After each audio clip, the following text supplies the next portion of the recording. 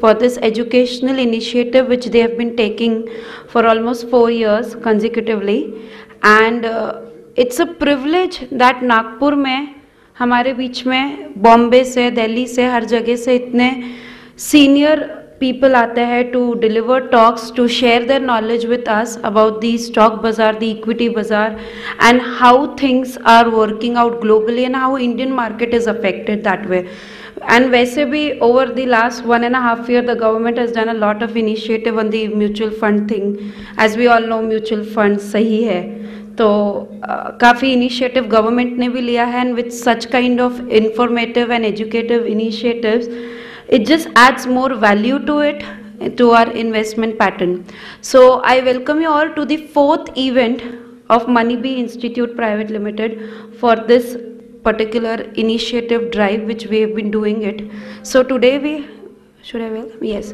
so we have with us today mr rhythm desai sir who is a civil engineer and a mba in finance and also the managing director for the Morgan Stanley Research. So I welcome Rhythm Desai sir on behalf of all of us. We also have with us Mr. uh, Dr. Milind Busare, who is the Commissioner of Income Tax. We have with us Mr. Ashutosh Wakhre sir, who is the Director, Managing Director at Moneybee Private Limited. So I welcome you all. Shivani, please escort our esteemed judges, uh, esteemed uh, speakers. I've been doing a lot on the jury front. uh, I would ask Shivani to take forward the program. Thank you so much. नमस्कार money B month के तीसरे साल के पहले कार्यक्रम में मैं शिवानी दानी आप सबका बहुत बहुत स्वागत करती हूँ। मंच पर उपस्थित इनकम टैक्स नागपुर के commissioner doctor Milind Bhusari sir, हमारे आग्रह पर पिछले तीन वर्षों से सतत नागपुर में सिर्फ़ एक बुलावे पर आने वाले हमारे मार्गदर्शक और जिनका नाम अच्छे वक्ता के रूप में संपूर्ण इंडस्ट्री में जाना जाता है, ऐसे श्रीरिदम देसाई जी। हमारे मार्गदर्शक मंच पर उपस्थित श्री आशुतोष वखरे सर और उपस्थित सभी गणमान्य अतिथि और जो लोग यहाँ पर उपस्थित है, सभी निवेशक स्टूडेंट्स और इंडस्ट्री प्रोफेशनल्स आज हम लोग मनीबी के मनीबी मंथ के तीसरे वर्ष को, तीसरे वर्ष की शुरुआत कर रहे हैं। आज ये हमारा पहला कार्यक्रम है। कई इन्वेस्टर्स पिछले तीन सालों से सतत आ रहे हैं। हमने पंद्रह सोलह में कार्यक्रम किया था सत्रह में गैप पड़ी थी और अठारह में हम वापस कार्यक्रम कर रहे हैं। और आ, किस तरीके से निवेश होना चाहिए क्या क्या चीज़ें हमने नहीं करनी चाहिए क्या क्या चीज़ें हमने करनी चाहिए इस विषय पर सतत निवेश किस तरीके से करने चाहिए हम लोग अलग अलग कार्यक्रम करने के प्रयास में हैं। जब पहले बार मनी बी मंथ की शुरुआत हुई थी तो जो उसका परिपेक्ष था। वो ऐसा था कि नागपुर में बहुत सारी पॉन्जी स्कीम्स हो चुकी थी, बहुत सारा हज़ारों करोड़ का पैसा लोगों, लोग गवा चुके थे। अलग अलग अलग पॉन्जी स्कीम्स नागपुर में ही नहीं, महाराष्ट्र में भी बहुत बड़े पैमाने पर हो रही थी। और उसके उस धरती पर ऑनरेबल सीएम सर ने यह कहा था कि जिस हिसाब से मनी भी कई सालों से निवेशकों को मार्गदर्शन कर रहा है, इसको थोड़े से बड़े पैमाने में करना चाहिए और मनी भी मंथ की हमने शुरुआत की थी। आज का कार्यक्रम भी हमारे हमारे बीच जो उपस्थित है भुसारी सर आज पॉन्जी स्कीम्स और नागपुर में क्या उसका परिपेक्ष है, किस तरीके से चीज़ें हो रही है, उस पर हमें मार्गदर्शन करेंगे। और आज का कार्यक्रम इसलिए भी बहुत ज़्यादा महत्वपूर्ण है कि रिदम देसाई सर पिछले तीन साल से जिसका उल्लेख मैंने किया कि पिछले तीन साल से सिर्फ़ एक फ़ोन पर मॉर्गन स्टैनली है दुनिया में, जिस कंपनी का नाम जाना जाता है, उसके इंडिया के एमडी रिसर्च है, और वो सिर्फ़ एक कहने पर नागपुर के लिए यहाँ पर आते हैं। मैं बहुत बहुत तहे दिल से आपका स्वागत करती हूँ और शुक्रिया भी अदा करती हूँ संपूर्ण नागपुर की निवेशक और जनता की ओर से कि आप यहाँ पर आते हैं। ये बहुत महत्वपूर्ण चीज़ें हैं कि ऐसी चीज़ें होती है, तभी हमें भी प्रोत्साहन मिलता है कि इस तरीके से कार्यक्रम किए जाने चाहिए। आज कई सारे स्टूडेंट्स यहाँ पर है कि आज के कार्यक्रम में ज़रूर हमें फाइनेंस सीखने को मिलेगा या फिर फाइनेंस हम लोग हमारे हमारे कॉलेज में या फिर यूट्यूब पर फाइनेंस के चार पाँच टॉपिक्स डालेंगे तो पचासों वीडियोस मिल जाएँगे। हम वहाँ सब, वहाँ से भी सीख सकते हैं। लेकिन जो चीज़ें हमने सीखनी चाहिए, वो मतलब हमारे मंच पर जो दो गणमान्य अतिथि है, वो लोग और उनका जीवन पटल, कि किस तरीके से उन्होंने अपना करियर चालू किया। कठिनाइयाँ उनके भी सामने आई क्या तो सौ प्रतिशत आई। उनके भी जीवन में बहुत सारी कठिनाइयाँ कठिनाइयाँ आई, लेकिन आज वो हमारे सामने इस रूप में खड़े हैं कि हमें मार्गदर्शन देंगे और दुनिया में उनका नाम जाना जाता है। वो जो हम्बलनेस है, वो स्ट्रगल है, वो कंसिस्टेंसी है, और हम लोग अक्सर हमारा भी एक एटीट्यूड रहता है कि ये जॉब नहीं चाहिए, वो जॉब नहीं चाहिए। ये काम हम करेंगे क्या? हम इसलिए पढ़े क्या? लेकिन किस तरीके से इन लोगों ने अपने करियर की शुरुआत की और अपना जीवन बनाया? ये भी हम लोग अगर पाँच परसेंट भी यहाँ से सीख कर जाएँगे तो आज का कार्यक्रम सही मायनों में सफल होगा। तीसरी एक चीज़ जिसका उल्लेख करना मैं यहाँ पर बहुत महत्वपूर्ण समझती हूँ कि पिछला जब मनीबी मंथ पहला जब चालू किया था तो मनीबी का कोई यूट्यूब चैनल नहीं था। लेकिन आप सबके सहयोग से आज बताते वक्त बहुत ज़्यादा हर्ष हो रहा है कि आज आप सबके सहयोग से मनीबी का यूट्यूब चैनल बना उस पर वीडियोस आए। पिछले तीन साल जो मनी बी मंथ हमने किया, उसके वीडियोस उस चैनल पर आए। रिदम सर के दोनों वीडियोस उस चैनल पर उपलब्ध है। और उस वीडियोस उस वीडियोस को देखते देखते उस चैनल को सराहते सराहते आज बताते वक्त ये हर्ष हो रहा है कि हम लोग एक नहीं, दो नहीं, लगभग एक लाख सब्सक्राइबर का चैनल बन चुके हैं।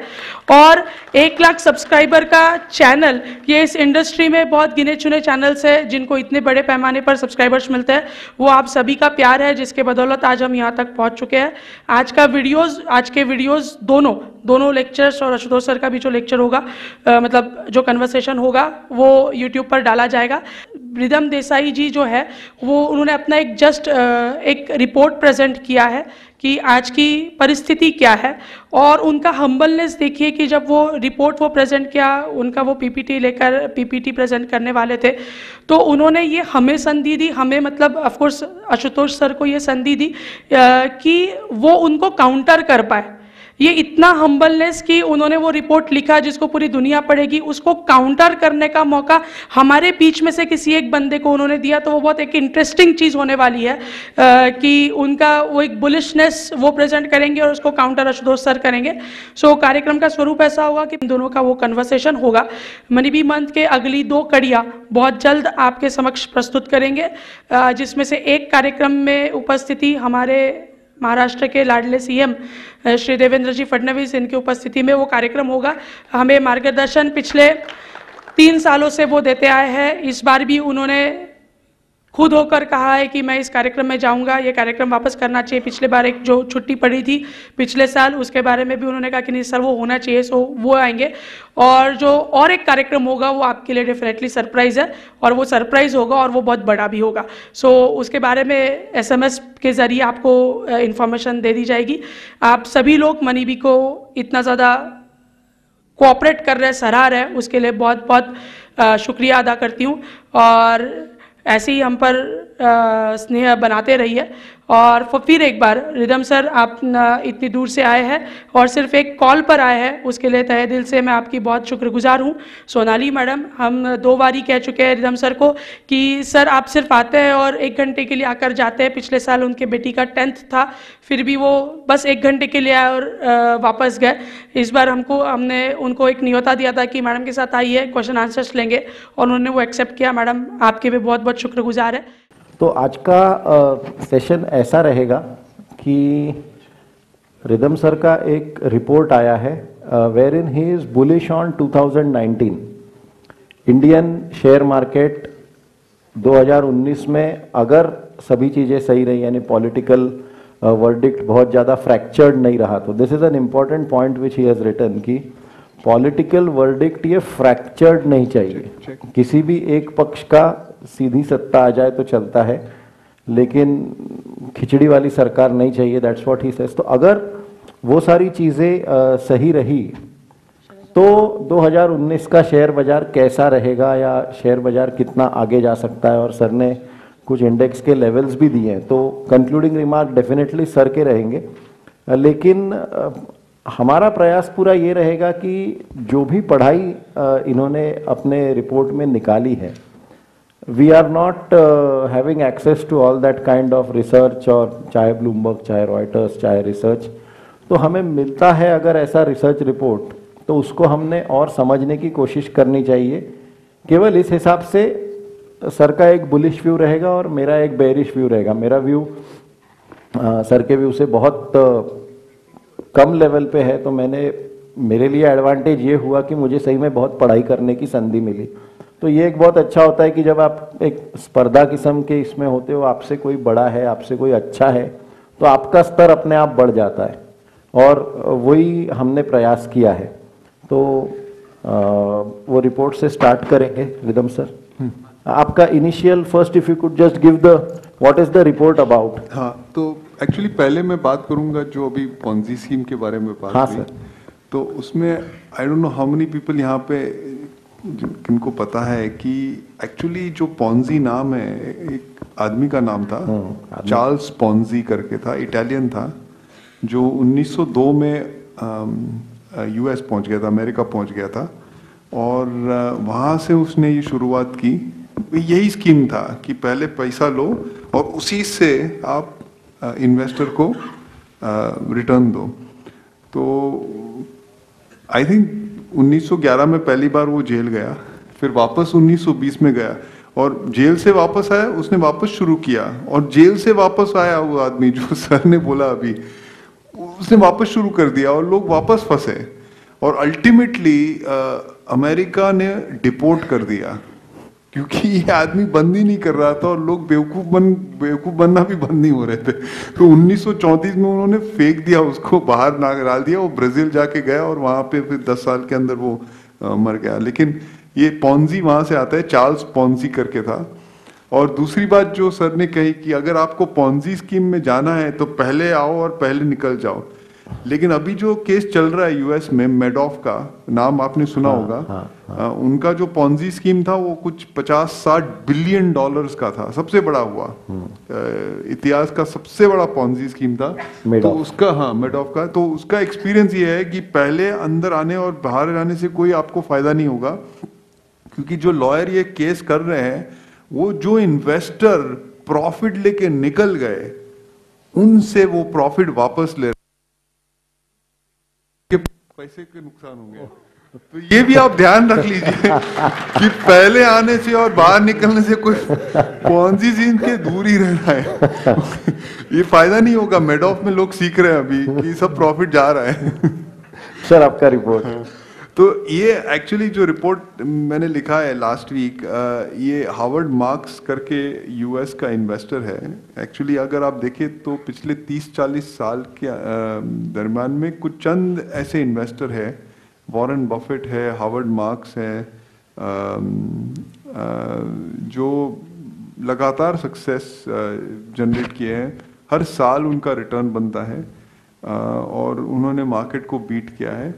तो हार्वर्ड मार्क्स का एक नया, एक नई बुक आई है मास्टरिंग द मार्केट साइकिल तो उनका कहना ये है कि अगर आप शेयर बाज़ार को देखिए इनफैक्ट शेयर बाज़ार के बारे में नहीं बात करें, वो सब मार्केट्स के बारे में बात करें गोल्ड शेयर मार्केट बॉन्ड्स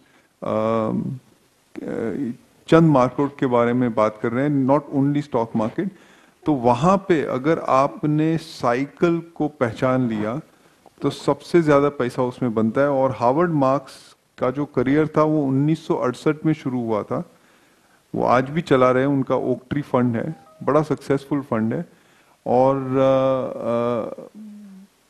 उन्नीस सौ अड़सठ से लेके आज तक मतलब करीबन इक्यावन साल हो गए। उन्होंने सिर्फ़ पाँच कॉल लिए अपने लाइफ में, सिर्फ़ पाँच। Only five calls. तो इतने बड़े साइकिल्स की बात कर रहे हैं वो। मतलब ये नहीं कि छह महीना बाज़ार चला और मैंने लिया और बेचा ओके? ये सालों के बारे में बात कर रहे हैं। उन्होंने एक उन्नीस में जो कॉल लिया था वो जाके उनको 1900 2004-5 में उनको उसका फ़ायदा हुआ ऐसा। और एक तो उन्होंने अपनी बुक में बात की थी तो मैंने मैंने वो बुक एक्चुअली अभी दो हफ़्ते पहले फ़्लाइट में पढ़ी थी।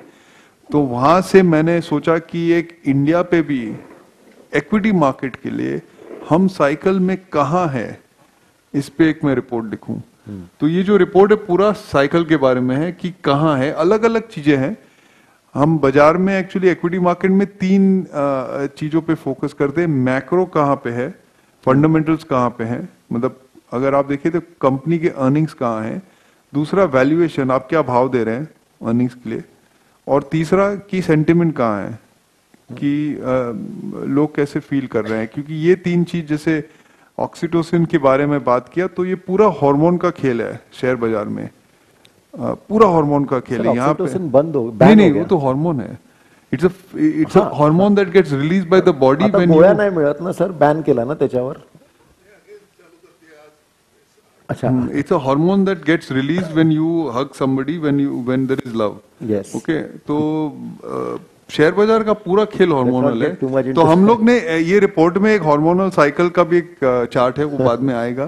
तो वो जो है ये तीन ही चीज़ है बाज़ार में। तो ये तीन कहाँ है और हम साइकिल में कहाँ पे है? क्योंकि एक्चुअली देखा जाए हम तो करते हैं क्योंकि हमें करना पड़ता है एक इंडेक्स का फोरकास्ट लेकिन इंडेक्स का फोरकास्ट मायने नहीं रखता है। ज़्यादातर तो मैं गलत ही जाता हूँ। अगर आप एक सिक्के को टॉस कर लीजिए तो यू विल गो दैट सिक्का will go coin will go right more often then I do तो ये बात आपको ध्यान में रखनी है कि it is not about making the forecast about the future ये नहीं जानना है कि इलेक्शन कौन जीतेगा।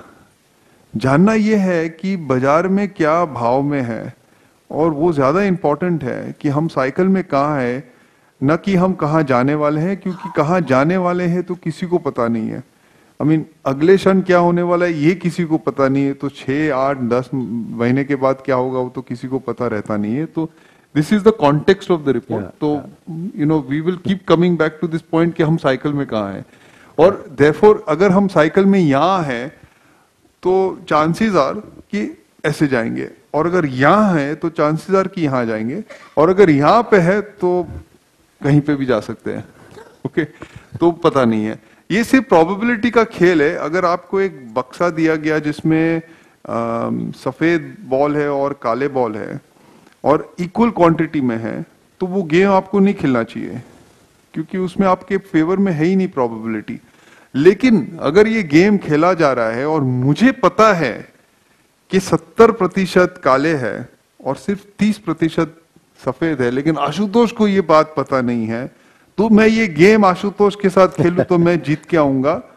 Okay if I play it enough times okay ऐसा मुझे पता नहीं है कि कौन सा बॉल मुझे नहीं पता है कि नेक्स्ट काला बॉल है और हो भी सकता है कि अगले पाँच बॉल सफ़ेद आए लेकिन चूँकि 70 प्रतिशत काले बॉल है इवेंचुअली ये गेम मैं जीत जाऊँगा तो it is a game of probability that is what stock market is तो that is the this opening comment this example of white ball and black ball ये यहाँ पे गेम नहीं खेलेंगे लेकिन ये एग्ज़ाम में ये हरदम क्वेश्चन आता था. हाँ, we couldn't escape this question. Sir your first हाँ तो ये मैं. आपको एक एक्सप्लेन करता हूँ थोड़ा कॉम्प्लिकेटेड है. ये जो ऑरेंज लाइन है आपको दिख रही है? नहीं यहाँ पे दिख हाँ रही है दिख रहा है हाँ ओके ये जो ऑरेंज लाइन है ये एक्चुअली गूगल से मिलता है. अगर आप गूगल सर्च इंजन में जाइए और वहाँ पे सिर्फ़ सिर्फ़ लिखिए पॉलिसी अनसर्टेनिटी इंडेक्स इंडिया तो गूगल अपने आर्टिफिशियल इंटेलिजेंस से आपको बताएगी कि पॉलिसी सर्टेनिटी कैसी है इंडिया में। और उनका जो खेल है, बहुत सिंपल है actually they look for keywords news में। और वो कीवर्ड्स के रेशियो से वो ये लाइन बनाती है। और ये लाइन आपको इंडिया चाइना ब्राज़ील यूएस और कई और देशों के लिए मिलती है। तो एक ग्लोबल इंडेक्स बनता है तो ये जो ऑरेंज लाइन है वो इंडिया माइनस ग्लोबल इंडेक्स है। तो रिलेटिव इंडेक्स हुआ। इंडिया का एब्सोल्यूट नहीं है। तो इसमें इंडिया पॉलिसी सर्टेनिटी क्योंकि ये ऊपर जा रहा है तो policy certainty is at an all time high उसका दूसरा कारण यह है कि global policy certainty is actually low क्योंकि अमेरिका और चाइना का ट्रेड वॉर चल रहा है यू नो मिडिल ईस्ट में ऑयल का प्रॉब्लम है और कई प्रॉब्लम्स है तो उसके कारण global certainty is low Indian certainty is relatively high तो जो गैप है वो इंडिया के फेवर में है. Okay okay? और अगर आप देखिए 2015 के पहले अगर ये मैंने आपको इंडेक्स दे दिया था तो आप बोल सकते थे कि मार्केट कहाँ जाने वाला है लेकिन 2015 के बाद कुछ गड़बड़ हो गई है. सो दैट्स व्हाट की अगर पॉलिटिकल अनसर्टेनिटी इतनी ज़्यादा है नहीं ये कम है। ये, ये, ये रिवर्स इंडेक्स है तो सर्टेनिटी हाँ सर्टेनिटी सर्टेनिटी हाँ, ज़्यादा है। Because of political stability correct which means the market should actually do better yes but the MSCI India index is actually in the negative minus eight percent versus तो ये हाँ। तो दो हज़ार पंद्रह हाँ। से ऐसा उसके पहले तो सीधा हाँ, हाँ. तो पहली बात यह है कि मार्केट क्या करेगा उसको आप छोड़ दो। पहली बात यह है कि just because policy certainty index इतना हाई है तो एक बात तय है कि द लाइकलीहुड प्रोबेबिलिटी काले बॉल हमारे फेवर में है ये नीचे जाने वाला है। पहली बात। हम्म, ये यहाँ से ऊपर जाना मुश्किल है इसको। Hmm, okay? तो अब इसका मार्केट पे क्या इम्पैक्ट होगा वो सेकंड लेवल की बात होगी। पहले पॉलिसी सर्टेनिटी कहाँ जा रही है? अब कोइंसिडेंस से अगले साल इंडिया में इलेक्शन है। हम्म, ओके तो इसका कुछ मैसेज हो सकता है। हम्म, ओके कि इलेक्शन का रिज़ल्ट कैसे markets are discounting the future हाँ। नहीं मार्केट नहीं डिस्काउंट कर रहा है। मार्केट एक्चुअली आपको दूसरी चीज़ बता रही है जो मैं आऊँगा अभी जो आपका क्वेश्चन है। ओके तो पहली बात ये है कि पॉलिसी साइकिल कहाँ पे है? पॉलिसी साइकिल पीक पे Right the से नीचे जाएगा। So probability अब of- मार्केट आपको एक चीज़ बता रहा है कि we don't really care for political cycles okay तो यहाँ पे हम आते हैं टीवी पे बहुत सारे लोग आते हैं और बहुत सारा पॉलिटिक्स पे बात करते हैं। और मेरा ये मानना है कि छोड़ो यार पॉलिटिक्स को कोई फ़र्क नहीं पड़ता है। और मैंने 30 साल का इतिहास निकाला ओके? 1996 में सरकार बनी थी इंडिया में। देवे गौड़ा साहब प्राइम मिनिस्टर बने थे। उनकी कितने एमपीस थे लोकसभा में? 40 240 लोग बाहर से सपोर्ट कर रहे थे। सेंसेक्स दो प्रतिशत गिरा। Sorry come again I lost it 1996 में India delivered a very fragmented outcome. The ruling party the party that form the government and made Deve Gowda the prime minister had 40 MPs just 40 MPs. हाँ हाँ। 240 people from outside बाहर से। बाहर से theoretically Sensex should have crashed होना चाहिए। Two percent गिरा था। हाँ, ओके हाँ हाँ। ठीक है? उन्नीस सौ सतानवे में the prime finance minister of that government was Chidambaram and he delivered what is still reckon to be India's dream budget dream budget हाँ। कंप्लीटली कोएलिशन फ्रैगमेंटेड सरकार थी हाँ। लेकिन ड्रीम बजट डिलीवर हाँ, किया ओके okay? वैसा budget पहले नहीं हुआ था उसके बाद नहीं हुआ है। उसके बाद हमें we have got much better governments in terms of MP strength we have got much stronger governments but it didn't happen so the point is that markets में रिएक्ट रिएक्शन आ भी सकता है। वो 2004 में आया था। 2004 में आई थिंक मार्केट का मानना था कि एनडीए जीत जाएगी लेकिन यूपीए की सरकार आ गई और 17 मई को सत्रह प्रतिशत एक ही दिन में 17 परसेंट गिर गया. हम मैं थोड़ा टेक्निकल बात आपको बताऊँगा कि आप I don't know how many people know bell curve normal distribution नहीं नहीं पता होगा। तो यू नो इफ़ अगर आपने सब दुनिया में जितने भी लोग हैं उनके हाइट्स को मेजर किया और उनको अगर एक ग्राफ पे प्लॉट किया तो आपको एक बेल शेप मिलेगा ऐसा शेप हाँ। ओके ऐसा डिस्ट्रीब्यूशन मिलता है। Normal. बहुत परफेक्ट डिस्ट्रीब्यूशन है इसको हम नॉर्मल डिस्ट्रीब्यूशन कहते हैं। शेयर के जो रिटर्न है वो नॉर्मली डिस्ट्रीब्यूटेड नहीं है. अ, उनका डिस्ट्रीब्यूशन एक्चुअली पावर कर्व में होता है लेकिन I will not going to those technical details जो मैं बात कहना चाहता हूँ अगर शेयर के दाम distribute were distributed like heights of people तो जो 17 मई को फॉल हुआ था हम्म वो पाँच बिलियन साल में नहीं होना चाहिए था। ओके ठीक है? हाँ। तो that was how low that probability. Was लेकिन हुआ। थ्री सिग्मा के भी बाहर का। नहीं नहीं थ्री नहीं it is seventeen eighteen sigma event मतलब five billion. Five billion years में नहीं होना हाँ. चाहिए था। अर्थ के फॉर्मेशन के पूरे मतलब इतिहास में नहीं. फिर भी हुआ। तो पॉलिटिक्स का ऐसा है कि हमको तो पता नहीं है 2019 में क्या होने वाला है। I wouldn't spend too much time discussing that debating that I think let the people deliver their verdict Uh, we will focus on fundamentals. And you know, the only thing you can do is keep some cash on the side, just in case something happens wrong. Uh, you can, and the market decides to fall, you can buy it. So the message from here is the market does not necessarily respond to a single factor. Market is a complex adaptive system. Uh, it is like the planet. You you know एक chaos theory में होता है butterfly wings Tokyo में flap करता है तो San Francisco में earthquake होता है। हाँ। ये केओस थियरी का मानना है तो एक्चुअली ये genesis of chaos theory is in the complex adaptive system की कहाँ पे क्या मूव होता है उससे क्या असर पड़ता है वो कहना बहुत मुश्किल है। तो शेयर बाज़ार क्योंकि it is dependent on human hormones primarily human hormones it is very difficult to predict and single factors do not matter तो एक पॉलिटिक्स से मार्केट नहीं चलता है और गिरता है और ये चार्ट आपको ये चीज़ दिखा रहा है तो ये अब मेरा टेक अवे है कि political policy certainty has been fabulous in the last four years but it has not help India deliver performance I just outside of this जो ग्लोबल अनसर्टेनिटी है hmm. वो सब पॉलिटिकल रीजंस की वजह से ही तो है चाहे नॉर्थ hmm. Korea hmm. चाहे Trump and China and that is affecting I mean countering your नहीं आशुतोष नवंबर 16 में जब प्रेसिडेंट ट्रंप बने थे प्रेसिडेंट उसके पहले अगर आप सब मार्केट गिरेगा नहीं, ट्रंप सब तो रिपोर्ट गिरेगा हाँ। देखो तो सबका मानना ये था एक्सपर्ट सब एक्सपर्ट्स हार्वर्ड मार्क से लेके माइकल ब्लूमबर्ग तक सबका मानना था कि अगर प्रेसिडेंट ट्रंप बन गए तो बाज़ार तो बाज़ार डूब जाएगा। हाँ। उसके बाद भयंकर तेज़ी हुआ है शेयर बाज़ार में। वो तो और जब लोगों का मानना ये हुआ कि अब यहाँ से नहीं गिरेगा तब से एसपीएक्स गिर रहा है। तो you see politics of course मैं ऐसा नहीं बोल रहा हूँ कि इट्स नॉट इम्पोर्टेंट बट मैं आपको एक बात समझाता हूँ कि पॉलिटिक्स लॉन्ग साइकिल होता है। ओके जो काम ये जो सरकार ने की है लास्ट फोर इयर्स का उसका इम्पैक्ट अगले चार पाँच साल में आपको दिखाई देगा। जो काम यूपीए सरकार ने किया या नहीं किया उसके पहले उसका असर पिछले चार साल में सेकंड लाइन है आपकी ये डिस्क्लेमर क्लॉज है। डिस्क्लेमर क्लॉज की बात नहीं है। मैं सिर्फ़ बात ये कहना चाहता हूँ कि the it is a long cycle.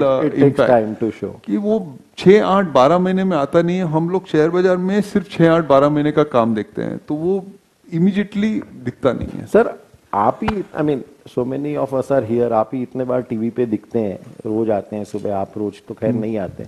And you categorically you tell कि I don't do short term calls I am very bad at it पर आप जो कह रहे हो कि बाज़ार एक फैक्टर से नहीं अफेक्ट होता है तो ये जो रोज टीवी पे और न्यूज़पेपर्स में आता है कि आज इलेक्शंस तीन स्टेट हार गए तो बाज़ार पता नहीं क्यों ऊपर गया। I mean how do how seriously do we take media entertainment है।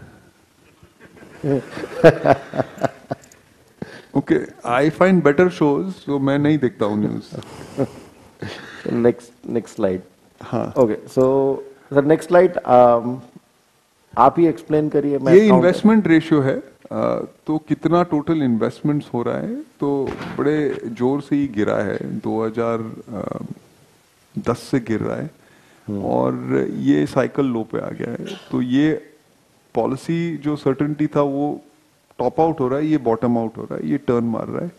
तो ये जब टर्न मारेगा तो इससे तुरंत आपको प्रॉफिट्स पे असर दिखेगा।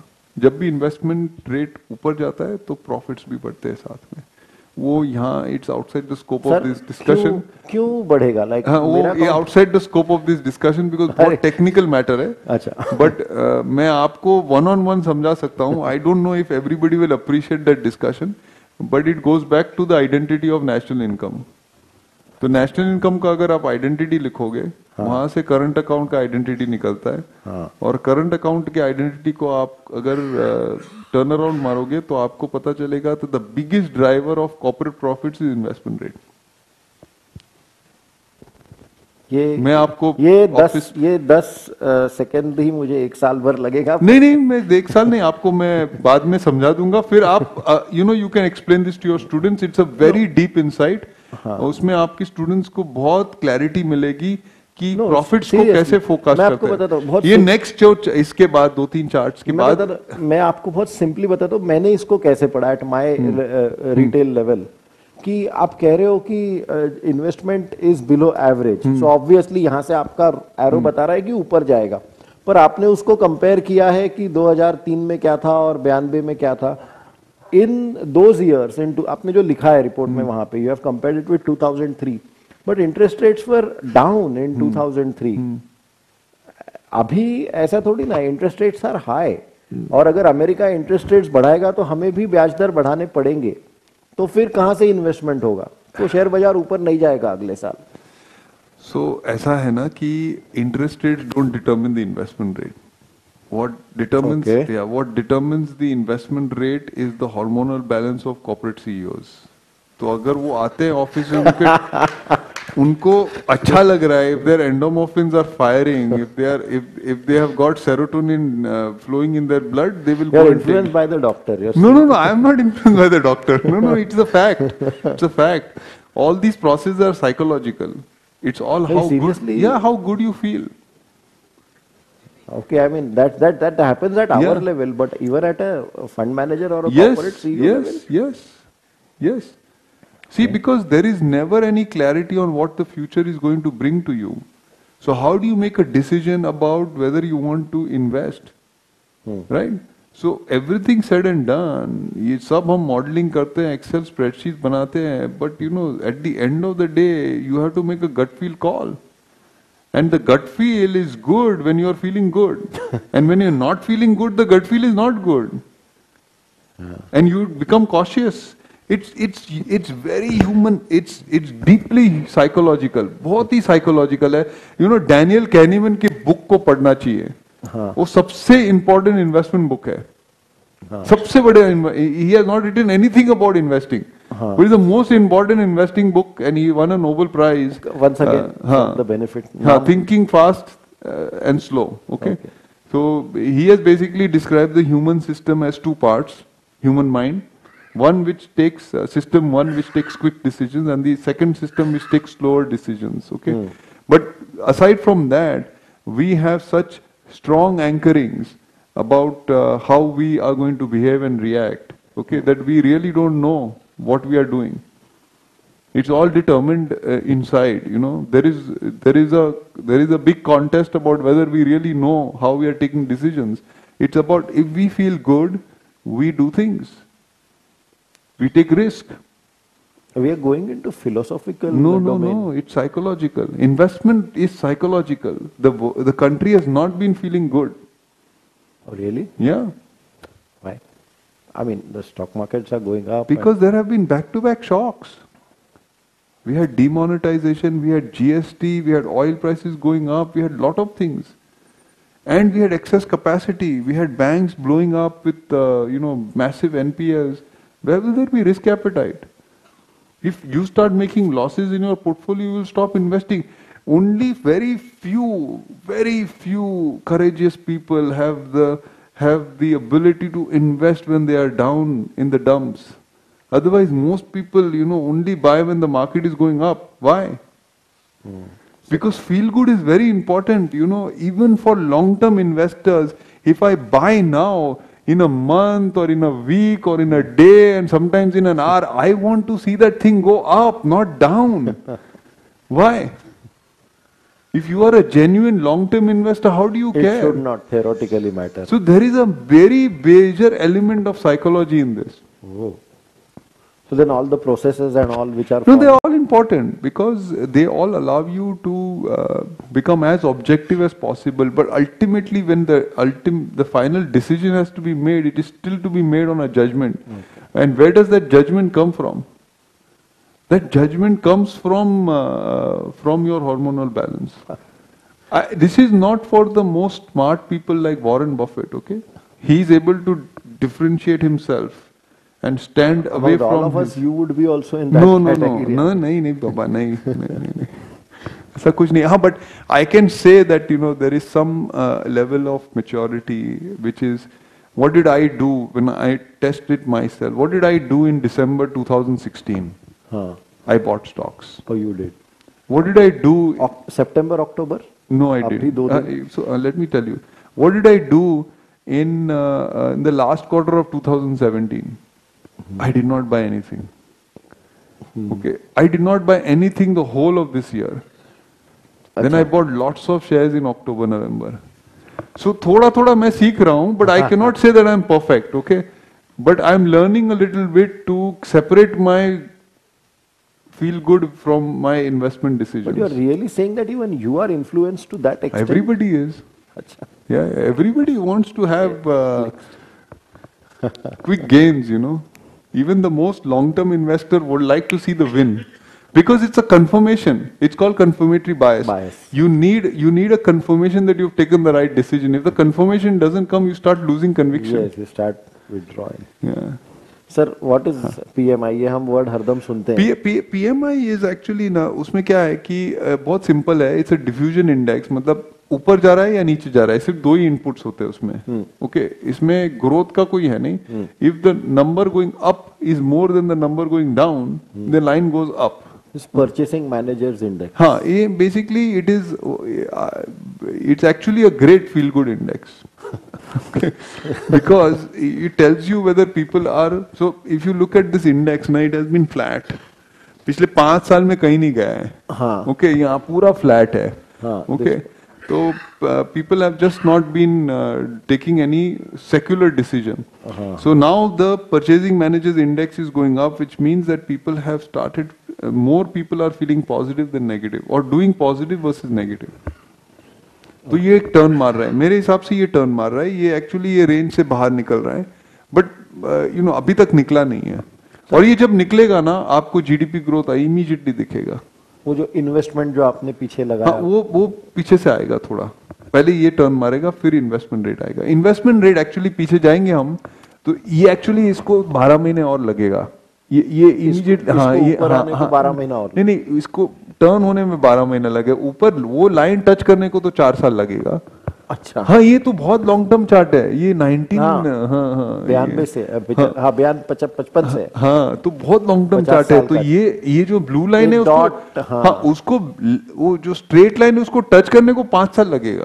That means we are in a cyclical investment we are at the beginning of a major cycle in ma'am ये एक्चुअली कंक्लूजन था. We are at the beginning of a major fundamental cycle Oh. और जब you are at the beginning of a cycle you do not get bearish on shares बहुत return मिलता है लेकिन you to be very patient there be lot of volatility क्योंकि every now and then people will question कि you know हो रहा है नहीं हो रहा है? हो रहा है नहीं हो रहा है? Because indicators will not be uniform but ये जो है चीज़ ये पहले टर्न मारेगी.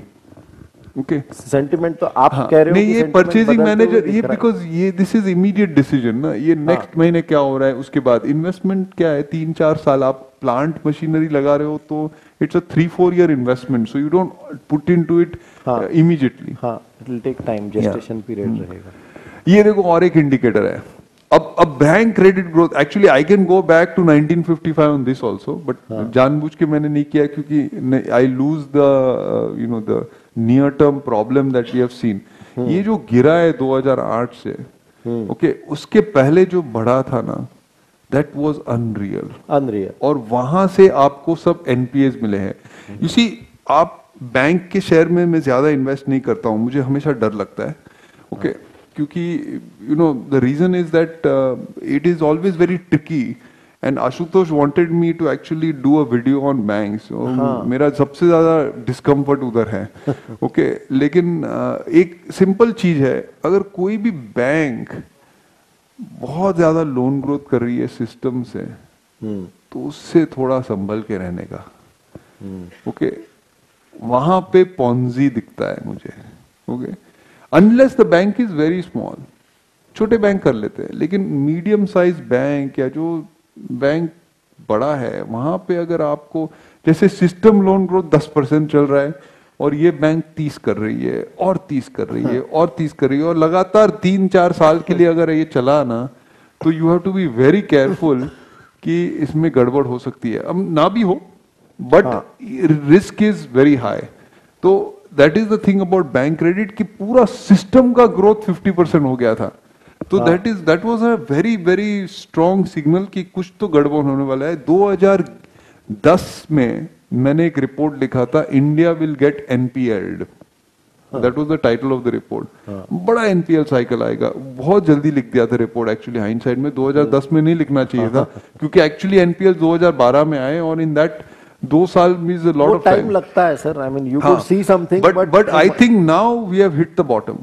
बड़े ये बहुत बहुत डीप बॉटम हिट हो गया है और यहाँ से क्रेडिट ग्रोथ आराम से घूमेगा और आपको एक लंबा साइकिल मिलेगा सर ये जो भूषण स्टील का केस सॉल्व हो गया एनसीएलटी में या माल्या सेइंग की या इवन रुइया सर सेइंग की पैसा ले लो करके Do you think that is what like it that gives con- confidence to you कि See, NPAs when I list out all the things that have happened under this current government, NCLT is right at the top in terms हाँ. of reforms. तो बड़ा reform है पहले ये देश में अ, क्या था कि आप लोन लेके भाग जाओ कोई भी रिकोर्स नहीं था।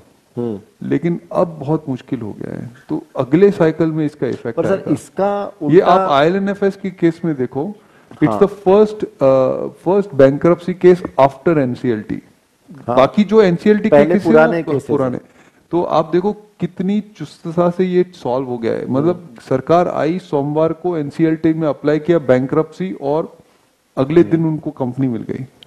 हाँ so Okay, this हाँ, so अब अब अगले 18 महीने में ये मोरलेस रिजॉल्व हो जाएगा। हाँ। जबकि पिछले अगर आप 70 साल का हिसाब देखो तो बैंक्रप्सी को रिजॉल्व करते करते 15-20 साल अब यू नो सर भी बोल के गए हाँ, कि। वो कोर्ट में चल रहा है सत्रह अठारह के साल से चल रहा है। अब ऐसा नहीं होगा। तो आप इमेजिन कीजिए कितना कैपिटल बचेगा कंट्री का। तो एनसीएलटी बहुत स्ट्रांग है। वो एक सेपरेट रीजन है। क्रेडिट हाँ। ग्रोथ से अलग है। उसमें कोई चार्ट नहीं बनता है। लेकिन ये जो क्रेडिट ग्रोथ का चार्ट ये बहुत ही पावरफुल है। 2017 में बॉटम डाल दिया था। ये टर्न मारा है और ये आप देखोगे ये अभी बहुत जल्दी से आगे बढ़ेगा। सर आपने जो एक पॉइंट टच किया जस्ट टच ऑन दैट कि आपने आईएलएफएस के बारे में it's not in your report but sir the entire like if there is a problem in ILFS DHFL में क्यों प्रॉब्लम आता है? और अगर आईएलएफएस और डीएचएफएल में प्रॉब्लम है तो शेयर बाज़ार क्यों गिरता So, है? of like the good things- Bajaj finance क्यों गिरता है? नहीं नहीं वो तो स्टफ़ लाइक दैट नहीं क्योंकि अच्छे देखो एनबीएफसीज क्यों गिरते नहीं क्योंकि उस वक्त उस वक्त जब आईएलएनएफएस का प्रॉब्लम आता है तो किसी को पता नहीं होता है कि कितने इंटर बैंक एक्सपोजर्स है देखो इक्यानवे हज़ार करोड़ का बैलेंस शीट है आईएलएनएफएस का छोटा नहीं है। और बहुत सारे क्रेडिटर्स है। तो किसी को पता नहीं है तो मार्केट में तो ये पहले से रूल है ओके पहले बेचो, फिर सोचो ओके जब प्रॉब्लम आता है तो पहले बेचो, फिर सोचो। और- जब बाज़ार तेज़ी में होता है तो पहले लो, फिर बाद में सोचो। ये दोनों गलत है। दोनों अप्रोचेस गलत है ओके क्योंकि दोनों में आपको नुकसान ही होगा, लेकिन मार्केट का ही अप्रोच है तो सब पहले गिर जाते हैं। फिर बाद में लोग सोचते हैं। लेकिन इसमें क्या हुआ कि सरकार ने ले ली आईएलएनएफएस और first thing you know Uday Kotak is the chairman of the board and he has basically first reveal the list of creditors देखो बैंकर है तो उनको पता है कि कहाँ पे वीकनेस है। तो लिस्ट ऑफ़ क्रेडिटर्स को आप देखोगे तो उसमें कहीं पे भी कोई भी ऐसा क्रेडिटर नहीं है जिसका एक्सपोजर इतना बड़ा है कि वो वो यू नो हाँ तो I think you know it is okay तो ये कंट्रोल में आ गया है अभी। बट इसका collateral damage you know CP market पे आ गया तो you know lot of NBFCs had to stop growing तो उसके कारण उनके अगले एक साल के लिए ग्रोथ रेट नहीं होगा। तो स्टॉक एनबीएफसीज का अगले एक साल के हाँ, हो सकता हो है हो सकता है कि सिस्टम वाइड एनबीएफसीज का ग्रोथ नहीं हो क्योंकि अभी एवरीबडी इज़ डिमांडिंग कि दे मेंटेन मोर लिक्विडिटी तो जैसे आप if I have to keep more liquidity means I have to shrink my balance sheet No, sir, if that is the case, then what will drive the markets? Because, I mean, banks banks sir banks have got the money na capital is with the banks the liability franchise is with the banks in fact Sir, in fact ironically ironically ashutosh the nbfc problem has come as tailwind for the banks because the nbfcs were fighting tooth and nail with the banks for business and the, beating the banks hmm. because they were willing to take more risk now hmm. they are out now the banks will grab that business so ये temporarily auto. the bullish on banks? हाँ, हाँ, Bullish. हाँ. I think banks are in for a long term cycle. Sir ये क्या है I mean this is आपने Brent को copper से हाँ ब्रांड को कॉपर से इसलिए I mean- किया है क्योंकि आशुतोष देखो यहाँ मानना लोगों का सोचना सोचने का तरीका ऐसा है कि जब तेल का दाम ऊपर बढ़ता है तो इंडिया को नुकसान होता है हाँ लेकिन ये ज़रूरी नहीं है अच्छा। बहुत समय बहुत समय ऐसा हुआ है कि तेल का दाम ऊपर गया और शेयर बाज़ार भी ऊपर गए। क्यों? क्योंकि तेल का दाम ऊपर जाने के दो अलग अलग कारण होते हैं। पहला कारण यह है कि डिमांड बढ़ रहा है। और अगर डिमांड बढ़ रहा है तो इंडिया के लिए अच्छा है। बिकॉज़ एक्चुअली उससे क्या होता है इंडिया में कैपिटल फ्लोज आते हैं इंडिया के गुड्स के लिए भी डिमांड बढ़ता है तो एक्चुअली इंडिया के लिए पॉजिटिव होता है। और तेल का दाम उतना नुकसान नहीं करता है। दूसरा कारण यह है कि सप्लाई कम हो रहा है। तब आपको डिमांड के फैक्टर्स और कैपिटल फ्लो के फैक्टर्स नहीं होते। वो इंडिया को नुकसान पहुंचाता है। तो मैं बहुत साल से सोच रहा हूँ ये मैंने एक्चुअली ये चार्ट अभी अभी लास्ट दो हफ़्ते पहले ही मेरे मैंने बनाया है। ये बहुत ही ब्रांड न्यू चार्ट है। दिस इज़ वेरी यूनिक आपने कॉपर ये ब्रांड न्यू चार्ट है। तो मैंने मेरा लॉजिक ऐसा है कि कॉपर और ऑयल को डिमांड रिलेटेड फैक्टर सेम है। Global GDP growth okay supply factors अलग है। हाँ। तो अगर मैंने ऑयल को कॉपर के रिलेटिव किया तो मैंने डिमांड फैक्टर को न्यूट्रलाइज कर कितना दिया पढ़ते हो सर? नहीं नहीं मैं पढ़ता नहीं हूँ। मैं कुछ पढ़ता नहीं हूँ। मैंने डिमांड को न्यूट्रलाइज कर दिया। हाँ। अब अगर तेल का दाम ऊपर जा रहा है तो it has to be supply related अब यह टेस्ट कर लो आप। ये जहाँ पे भी तेल का दाम ऊपर गया है ना these are all supply shocks okay so this so these they were supply shocks ये निफ्टी का स्केल उल्टा है। तो हाँ। ये निफ्टी गिर रहा है एक्चुअली हाँ, ओके हाँ, हाँ। तो ये निफ्टी गिर रहा है। जब भी सप्लाई शॉक आता है तेल में निफ्टी गिरता है। और जब भी जब भी सप्लाई शॉक चला जाता है तो जैसे अब हो रहा है ये पॉजिटिव हाँ। है। अभी जो तेल का दाम तो गिर रहा है इट इज़ नॉट अगर सप्लाई शॉक की वजह से बढ़ता है तो you are saying that's bad for the economy that is bad for the economy. So how do you know i know that by plotting it relative to copper. Oh. So whenever uh, the supply, the price of oil rises because of excessive liquidity, हाँ. that's not bad. That is not necessary Demand side- क्योंकि वो liquidity India में भी आ India जाती है। Demand आ जाता है। FIIs लाएँगे हाँ, इंडिया में। सब सब हो जाए। 2007 में हुआ था। 2007 में तेल का दाम बहुत बड़ा था। हाँ, लेकिन इंडिया इन, शेयर बाज़ार भी बहुत बड़ा था। हाँ। अगर आप तेल का दाम देख रहे हो तो आप फिर बेरिश हो जाओ तो सर आप कैन वी से कि इक्विटीज क्योंकि इन्फ्लेशन का हेज है इसलिए वो ऊपर जाता है? जस्ट आई मीन तेल रिलेटेड नहीं नहीं नहीं नहीं तेल का वो नहीं theory नहीं आएगी। दे- इसमें नहीं, inflation 2000 and- 2014 के पहले ना ऑयल और इन्फ्लेशन का कोरिलेशन इंडिया में बहुत वीक था। हम्म। बिकॉज़ ऑयल सब्सिडाइज था। तो सरकार डिसाइड करती थी कितना इन्फ्लेशन आता था बराबर, से। ओके सब लैग डिफेक्ट से आता था डेफिसिट बढ़ता था और फिर उसके कारण बाद में इन्फ्लेशन आता था। हम्म। अब मामला अलग है। तो वो हिस्ट्री नहीं है अपने पास। और इनफैक्ट मैं बोलूँ कि उसका एक ये ये अगर आप पिछले चौबीस महीनों में देखोगे ऑयल का दाम डबल हो गया लेकिन इंडिया में इन्फ्लेशन नहीं आया। और किसी ने ये बात पूछी नहीं है कि क्यों नहीं आया। सर आप एक्सप्लेन हाँ करिए आई क्यों इसलिए नहीं आया इसलिए क्यों नहीं आया? क्योंकि पिछले सत्तर साल में फ़र्स्ट टाइम इंडिया में we were mark to market कि ऑयल हाँ. का दाम बढ़ रहा था और यहाँ पे रोज आपका पेट्रोल का महँगा हो रहा था। और बड़ा कष्ट हो रहा था लोगों को लेकिन पीपल रिस्पॉन्डेड अब तेल महँगा हो गया है अब गाड़ी नहीं निकालनी है या कहीं पे तो कटौती करनी है तो अब सितंबर महीने में डीजल कंजम्पशन कंट्री में एक से गिर गया। तो इमीडिएटली एडजस्टमेंट हो गया मैक्रो में। इलास्टिसिटी जो हाँ, थ्योरी में सिखाते पहले नहीं था हाँ, पहले कभी नहीं था इलास्टिसिटी बिकॉज़ प्राइस तो कंट्रोल था। हाँ। अब इमीडिएटली आ गया तो यू नो मैक्रो को फ़ायदा हो जाता है। You want that you want a market system to determine कि so people shifted people shifted out you know there would have been people who would have stopped driving their cars taking um, carpool करने लगेंगे public transport car carpool जो भी करना है जहाँ पे भी बिकॉज़ अदरवाइज़ दूसरे जगहों पे कंजम्पशन करता। हम्म। तो जो नहीं ऑयल लोगों ने कंजम्पशन काट दिया। इसलिए इसीलिए अगर आप देखोगे तो सितंबर क्वार्टर का जो करंट अकाउंट था वो इतना खराब नहीं आया। हाँ। तो अगर ये बढ़ रहा है तो गवर्नमेंट बढ़ रही है so that is actually but अभी जो है तेल वो actually on a relative basis peak out हो गया है कॉपर तो ऐसे गिर रहा है। तो that is good for India तो अभी जो ऑयल जा रहा है नीचे पचास बावन। सप्लाई है क्योंकि ओवर सप्लाई नो बडी क्योंकि क्योंकि ईरान बाज़ार से बाहर था। हाँ। तो अमेरिका ने चाइना इंडिया को बोल दिया कि आप खरीद सकते हो। तो ईरान का सप्लाई वापस आ गया। और बड़ा कोऑपरेशन हो रहा है अभी मिडल ईस्ट में। हाँ। ओके।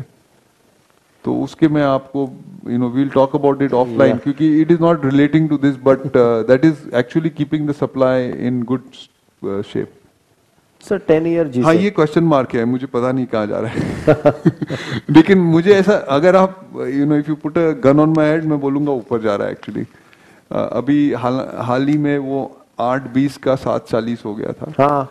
और मेरा ये मानना है कि अ, अगले छह महीनों में एक्चुअली थोड़ा फ़िज़िकल डेफिसिट बढ़ जाएगा। फ़िज़िकल डेफिसिट बढ़ेगा। हाँ क्योंकि ये जो स्टेट्स में इलेक्शन लॉस हुए हैं बीजेपी को हाँ। तो उसके रिस्पॉन्स में थोड़ा सा पंप प्राइमिंग होगा।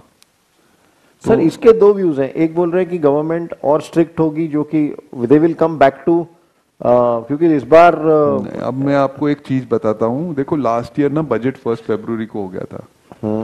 ओके तो फ़र्स्ट फेब्रुवरी बजट रखने का ये जो कारण है ना उसमें एक कारण ये है। कि जो अगले साल जो बजट आएगा फ़र्स्ट फेब्रुवरी को वोट ऑन अकाउंट नहीं होगा। देखो इलेक्शन ईयर में हमेशा बजट वोट ऑन अकाउंट होता है। हाँ। तो उसमें कुछ भी आप नहीं कर सकते हो। सिर्फ़ गवर्नमेंट का खर्चा और रेवेन्यू आप पेश कर दो और वो पार्लियामेंट पास कर देती है ओके वोट ऑन अकाउंट होता है बस तीन महीने के लिए मैं आपको पैसा दे रहा हूँ सरकार चलाने के लिए। कोई भी पॉलिसी अनाउंसमेंट नहीं होता है।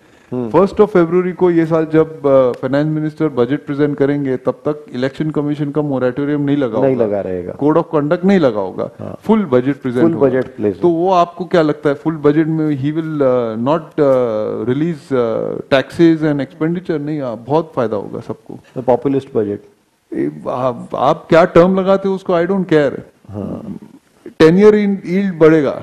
बिकॉज़ गवर्नमेंट का खर्चा बढ़ेगा।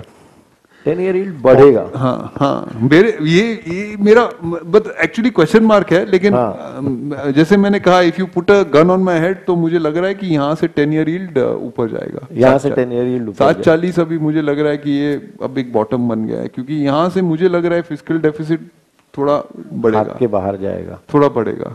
बिकॉज़ ये, ये जो रिवर्सल्स हुए इलेक्शन में उसके रिस्पॉन्स में सरकार करेगी कुछ। ये ऐसे क्योंकि देखो आप फीडबैक क्या आ रहा है? सर नोटा की वजह से गई है सरकार तो। अभी you know the thing is के तीन चार महीने का एक विंडो है ओके तो you know you take your chances आप तेलंगाना में देखिए ना। वो तो वैसे भी था नहीं। नहीं तेलंगाना में experiment has been massively successful for KRS for K R वो तो वैसे ही आने वाला था लाइक नहीं नहीं बट आप उनका देखो ना सी यू यू हाँ। See you see what is happening in the country ना so you can not be oblivious to that हाँ, we so can't. There is a there is a four month thing क्योंकि जून में अगर अगर So what is your call? Will the government go all out to woo the rural? Sir urban voter भी तो दूर गया है। इसलिए तो मैं टैक्स कट बोला आपको। तो बजट में टैक्स कट होगा। यू एक्सपेक्ट मैं ऐसा नहीं बोल रहा हूँ मैं बोल रहा हूँ कि यू हैव एन अपॉर्चुनिटी तो वहाँ टेन ईयर की बात कर रहे हैं हम लोग।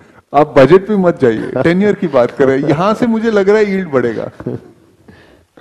ओके okay, ये पॉलिसी रेट कम होगा। और ये नहीं भी हुआ टेन ईयर अगर ऊपर जा रहा है हाँ तो यील्ड कब स्टीपन होगा आशुतोष? ये शेयर बाज़ार के लिए बहुत तेज़ी का माहौल है। ये you see this is very very bullish ये बुलिश स्टीपनिंग बोलते हैं यील्ड कर्व को। टेन ईयर ऊपर जा रहा है because demand is strong policy rate नीचे जा रहा है because liquidity strong I don't have a counter तो मैं आपकी हाँ बात नहीं मान लेता हूँ। नहीं नहीं आप समझो लिक्विडिटी इतनी डाल दी है अब ओके कितना ऊपर? अकॉर्डिंग टू योर रिपोर्ट आपने जो रे आपने एक जो लेवल दिया है सेंसेक्स का। हाँ नहीं नहीं वो लेवल छोड़िए हम लोग इस सो पॉलिसी रेट देखो मीडियम टर्म बेसिस पे बॉटम आउट हो गया है। तो एक साल के अंदर पॉलिसी रेट कम नहीं होगा। नहीं होगा। लेकिन लेकिन इंट्रिम में शॉर्ट टर्म के लिए हो सकता है कि पॉलिसी रेट थम जाए और यहाँ से थम जाए। हाँ यहाँ से और एक कट भी आ सकता है। बाज़ार के रेट्स मुझे लगते हैं शॉर्ट एंड पे गिरेंगे। ये जो स्प्रेड था ना सीपी और पॉलिसी रेट के बीच में हाँ, जो 100 बेसिस पॉइंट हाँ, के करीब हो हाँ। गया मुझे लग रहा है वो गिर जाएगा। तो I am actually what I am saying is not policy rates will fall but short rates will liquidity ज़्यादा रहेगी। बहुत ज़्यादा लिक्विडिटी है सिस्टम में। सर ओएमओ कर दिया है अभी आरबीआई ने कुल मिला के अब अगर आप देखोगे हिसाब लगाओगे तो ढाई तीन लाख करोड़ रुपए डाल दिया है सिस्टम में। पर सिस्टम तो अभी भी सरप्लस में है ही नहीं लिक्विडिटी में बॉर्डर पे ही रहता है। That is because that is because banks are not lending money multiplier थोड़ा थमा हुआ है। ये सर गवर्नमेंट एक जगह पे बोल रही है कि बैंक्स ने ज़्यादा लेंड पूरा आरबीआई का जो इशू हुआ हम्म, on one side the RBI is being very uh, tight as far as NPA हो गया सब तो they are very conservative. Hmm. उसकी वजह से लोन ग्रोथ नहीं हो रही है। और अभी आरबीआई बोल गवर्नमेंट बोल रहा है कि आप लोन ग्रोथ फैसिलिटेट करने के लिए लूजन हो जाओ। Where do you stand on that loan growth हो रही है। It's not that loan growth is not happening it was not happening 12 months ago लेकिन अब हो रहा है loan growth loan credit credit growth अभी 15 परसेंट ऑलरेडी हो गया है।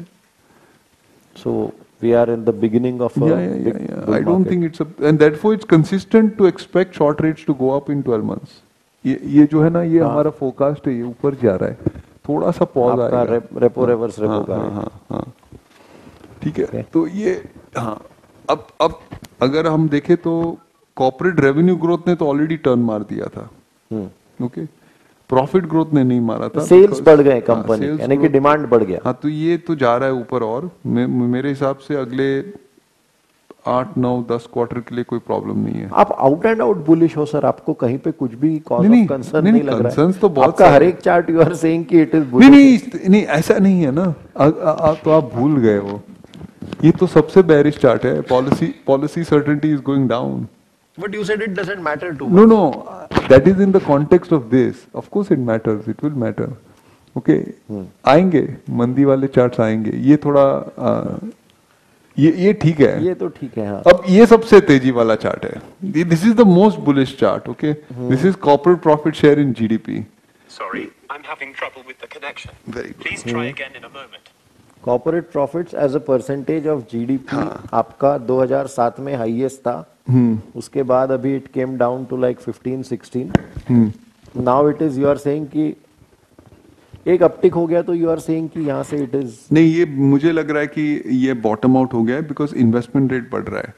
तो थोड़ा टेक्निकल मैटर है। आई एम नॉट श्योर कि यू नो हम ऑडियंस को हाँ. इस पे बोर करेंगे लेकिन we will discuss this but you know we could be at the beginning of a new cycle in corporate profits which may take corporate profit share in GDP from three six.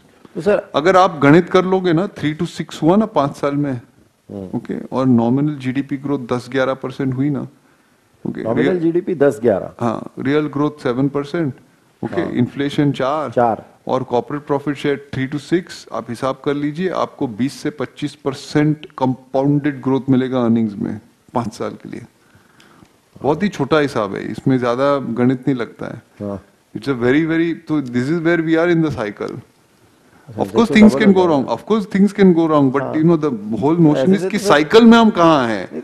I mean the Sensex can easily double if we are I mean पाँच साल में। Not पाँच साल but I mean अगर आप बोल रहे हो पाँच साल में तो डबल से भी ज़्यादा हो सकता है। हाँ, मैं कंजर्वेटिव बोल रहा था। बट इसमें गड़बड़ हो सकती है बहुत सारी गड़बड़े हो सकती है। You know US China trade war में become a serious problem that could be गड़बड़। India could make serious policy mistakes that could be गड़बड़ राइट ऑयल में कुछ हो जाए मिडिल ईस्ट में सप्लाई कंस्ट्रेन हो जाए suddenly India terms of trade could go wrong गड़बड़ तो बहुत सारी हो सकती है ऐसा यू कैन नॉट मैं मैं तो सिर्फ़ बोल रहा हूँ साइकिल में कहाँ है। सेट्रिस पैरेबल नहीं नहीं सेटरस पेरिबस नहीं वो तो बहुत ही गंदे वर्ड्स है। अच्छा। बिकॉज़ शेयर बाज़ार में कभी कुछ भी सेटरस पेरिबस नहीं होता है। एवरीथिंग सेटरस पेरिबस का मतलब है एवरीथिंग एल्स रिमेनिंग अनचेंज नहीं everything else is always changing कुछ भी अनचेंज नहीं होता है। साइकिल में हम कहाँ हैं? बिकॉज़ फोरकास्ट तो पता नहीं है. We really don't know where we are going in the future but we are here in the cycle if we are here then it is no point taking risk when we are here there is worth it's worth taking risk I am in a situation where I have better information that there are seventy percent black balls in the box that doesn't mean I will win white निकल सकता है मैं हार भी सकता हूँ. लेकिन the probability of winning is higher okay so that is the point okay हाँ. सर आर हाँ सेम सेम है तो this is the same chart so we don't need to repeat this but return on equity has also I think turn अभी इसमें ऐसा है कि अगर आप लेटेस्ट डेटा देखोगे आरबीआई का तो उसमें capacity utilisation is at a five year high capacity five year high which means companies को नया इन्वेस्टमेंट करना ही पड़ेगा। अब मान गए ना आप। आई मीन वही तो वही वही तो मैं बोल रहा था। तो ये आरओई में भी आ रहा है एसेट टर्न हम हाँ। हम हम फाइनेंशियल स्टेटमेंट्स में एसेट टर्न देखते हैं। हाँ। वो हमको एक्चुअली अच्छा इन्फॉर्मेशन देता है। एसेट टर्न भी actually at nine year high पे है। ओके एसेट मल्टीप्लायर हाँ। आरओए जो आप कहते हो। नहीं नहीं not ROA asset turn is basically total assets divide by sales हाँ जो सेकंड पार्ट जो हाँ है। Sales divide by total asset DuPont analysis में। अब ये कहाँ जा रहा है मुझे पता नहीं है। हाँ, ये ये देखो मेरा ये वैल्यूएशन ना मिड साइकिल है तो मार्केट ने थोड़ी to- मार्केट को थोड़ी भनक लग गई है कि नया प्रॉफिट साइकिल आ रहा है। ओके सर ये तो चार साल से लग रहा है। हाँ एग्जैक्टली एग्जैक्टली हर साल एनालिस्ट कहता है नहीं कि एनालिस्ट को छोड़ो। एनालिस्ट डोंट मैटर ओके कुल मिला के यू नो तीन 300 एनालिस्ट है। They are not the market बहुत ज़्यादा फोकस होता है एनालिस्ट क्या बोल रहे हैं। ओके okay, जैसे कि एनालिस्ट को पता होता है क्या हो रहा है। ओके okay, नहीं पता होता है बाबा। किसी भी एनालिस्ट को पता नहीं है और सब analyst are trying their luck at this we should see what the market knows okay the market has been at this level for the last four years exactly so market has had hope कि the cycle will turn but for the last four years it has been surprise on the down side by various event exactly okay So, but it has not given up the hope because the cycle seems to be Sir, turning. for how long the I mean hope पे दुनिया कायम है share बाज़ार की Hope, greed and मेरा fear. Sir, मेरा ये तीन ही। सेंटिमेंट है मार्केट में होप ग्रीड एंड फियर नहीं sir I have a different क्योंकि what you have written in the report is you don't believe in PE multiple आपने वो इन द कॉन्टेक्स्ट की दे आर डाउन क्या बराबर Earnings- earnings sir अगर PE आप देखेंगे मार्केट का तो लाइक 20 22 25 26 28 तक उसका जा कारण ये है आशुतोष कि अर्निंग्स आर वेरी डिप्रेस्ड हाँ ओके तो तो आप इसीलिए तो P when you look at P you have to normalise earnings अगर आप नॉर्मलाइज कर लोगे मार्केट ट्रेड है 12 टाइम्स अर्निंग्स 12 कैसे? नॉर्मलाइज करो ना। Take profit share to GDP to back to 5% that's normal that's average in a simple language sir अगर okay okay, आप सिंपल लैंग्वेज बारह महीने में समझ जाओगे। मैं आपको वट इज़ द ओके मैं okay because I am struggling here with you top down I go bottom up what is the single factor that has cause earnings damage single factor एक ही फैक्टर बोलिए। मैं बताता हूँ। Banks okay okay अब banks की growth देख लो आप अगले बारह महीने में। तो अगर बैंक्स में तेज़ी आ गई यानी loan large banks okay corporate banks जिसको हम कहते हैं हाँ। पचास प्रतिशत अर्निंग्स लेके आ रहे हैं क्योंकि उनके एनपीएल खत्म हो गए अभी। अच्छा। उन निफ्टी के अर्निंग्स वहीं से आ रहे हैं। अब लोग मुझे बोल रहे अरे निफ्टी में से बैंक की अर्निंग निकाल दो। मैं बोला एक काम करो पिछले चार साल के लिए भी निकाल दो। निफ्टी का अर्निंग पंद्रह परसेंट है ग्रोथ अगर आपके बैंक का नहीं को हटा दो। बट बैंक कैसे निकाल सकते हो? They are thirty five percent of the index है तो है। हाँ। तो that is where the turn is coming it's very simple it is not very complicated and it doesn't depend on who wins election bank will produce the earnings loan growth is accelerating NIMs are stable okay so pre provisional profit will go up and NPL are following So recipe आप कर लो हिसाब आप Excel नहीं आप जो बोल रहे हो वो सिंपल लग रहा है कि बैंक्स में अगर बैंक्स जिसको लोन देंगे तो फिर वो कंपनीज़ को भी बेनिफिट आई मीन फिर वो डिमांड साइकिल एग्जैक्टली ओके और कैपिटल की तंगी नहीं है। कैपिटल की तंगी चंद पीएसयू बैंक्स में है। Okay 11 PSU banks to be precise जहाँ पे आरबीआई ने बोल दिया उनको कि यू कैन नॉट लैंड और वही तो मर्जर वगैरह। नहीं वही तो फाइट चल रहा है गवर्नमेंट और आरबीआई का। हाँ। Okay because government also realise कि ये 11 बैंक्स को अगर हमने क्रेडिट मार्केट में वापस डाल दिया तो ऑटोमेटिकली आपको ग्रोथ मिल ग्रोथ जाएगी। मिल जाएगी। तो कैसे भी भी करके हमको वापस लाना है। एनपीए भी तो बढ़ेंगे ना। नहीं एनपीए क्यों बढ़ेंगे? वो तो सब ये लोगों ने एनपीए तो बढ़ाए वो तो सब राइट ऑफ़ करके बैठे इसलिए तो उनके पास कैपिटल नहीं बढ़ा बचा है। हाँ। कैपिटल तो सब राइट ऑफ़ हो गया है बिकॉज़ ऑफ़ एनपीएल्स ना। नहीं तो ये बैंक्स को फिर से अगर अलाउ करेंगे नहीं वो मैं नहीं बोल रहा हूँ अलाउ करेंगे मैं बोल रहा हूँ यही तो चर्चा है लेकिन बाकी जो बैंक्स हैं उनके पास इनफ कैपिटल है हाँ। ग्रो करने के लिए। Other वो अभी are ग्रोथ flush. करेंगे हाँ। ओके मैं आपको और एक चीज़ बता देता हूँ कि रियल रेट्स इंडिया में पॉजिटिव है ओके और उसके कारण आपको फाइनेंशियल एसेट्स में भी काफ़ी फ्लो आ रहा है। इक्विटीज में आ रहा है फिक्स डिपॉजिट में आ रहा है। तो बैंक के पास डिपॉजिट ग्रोथ भी अच्छा है। क्योंकि कैपिटल भी है और डिपॉजिट ग्रोथ भी है।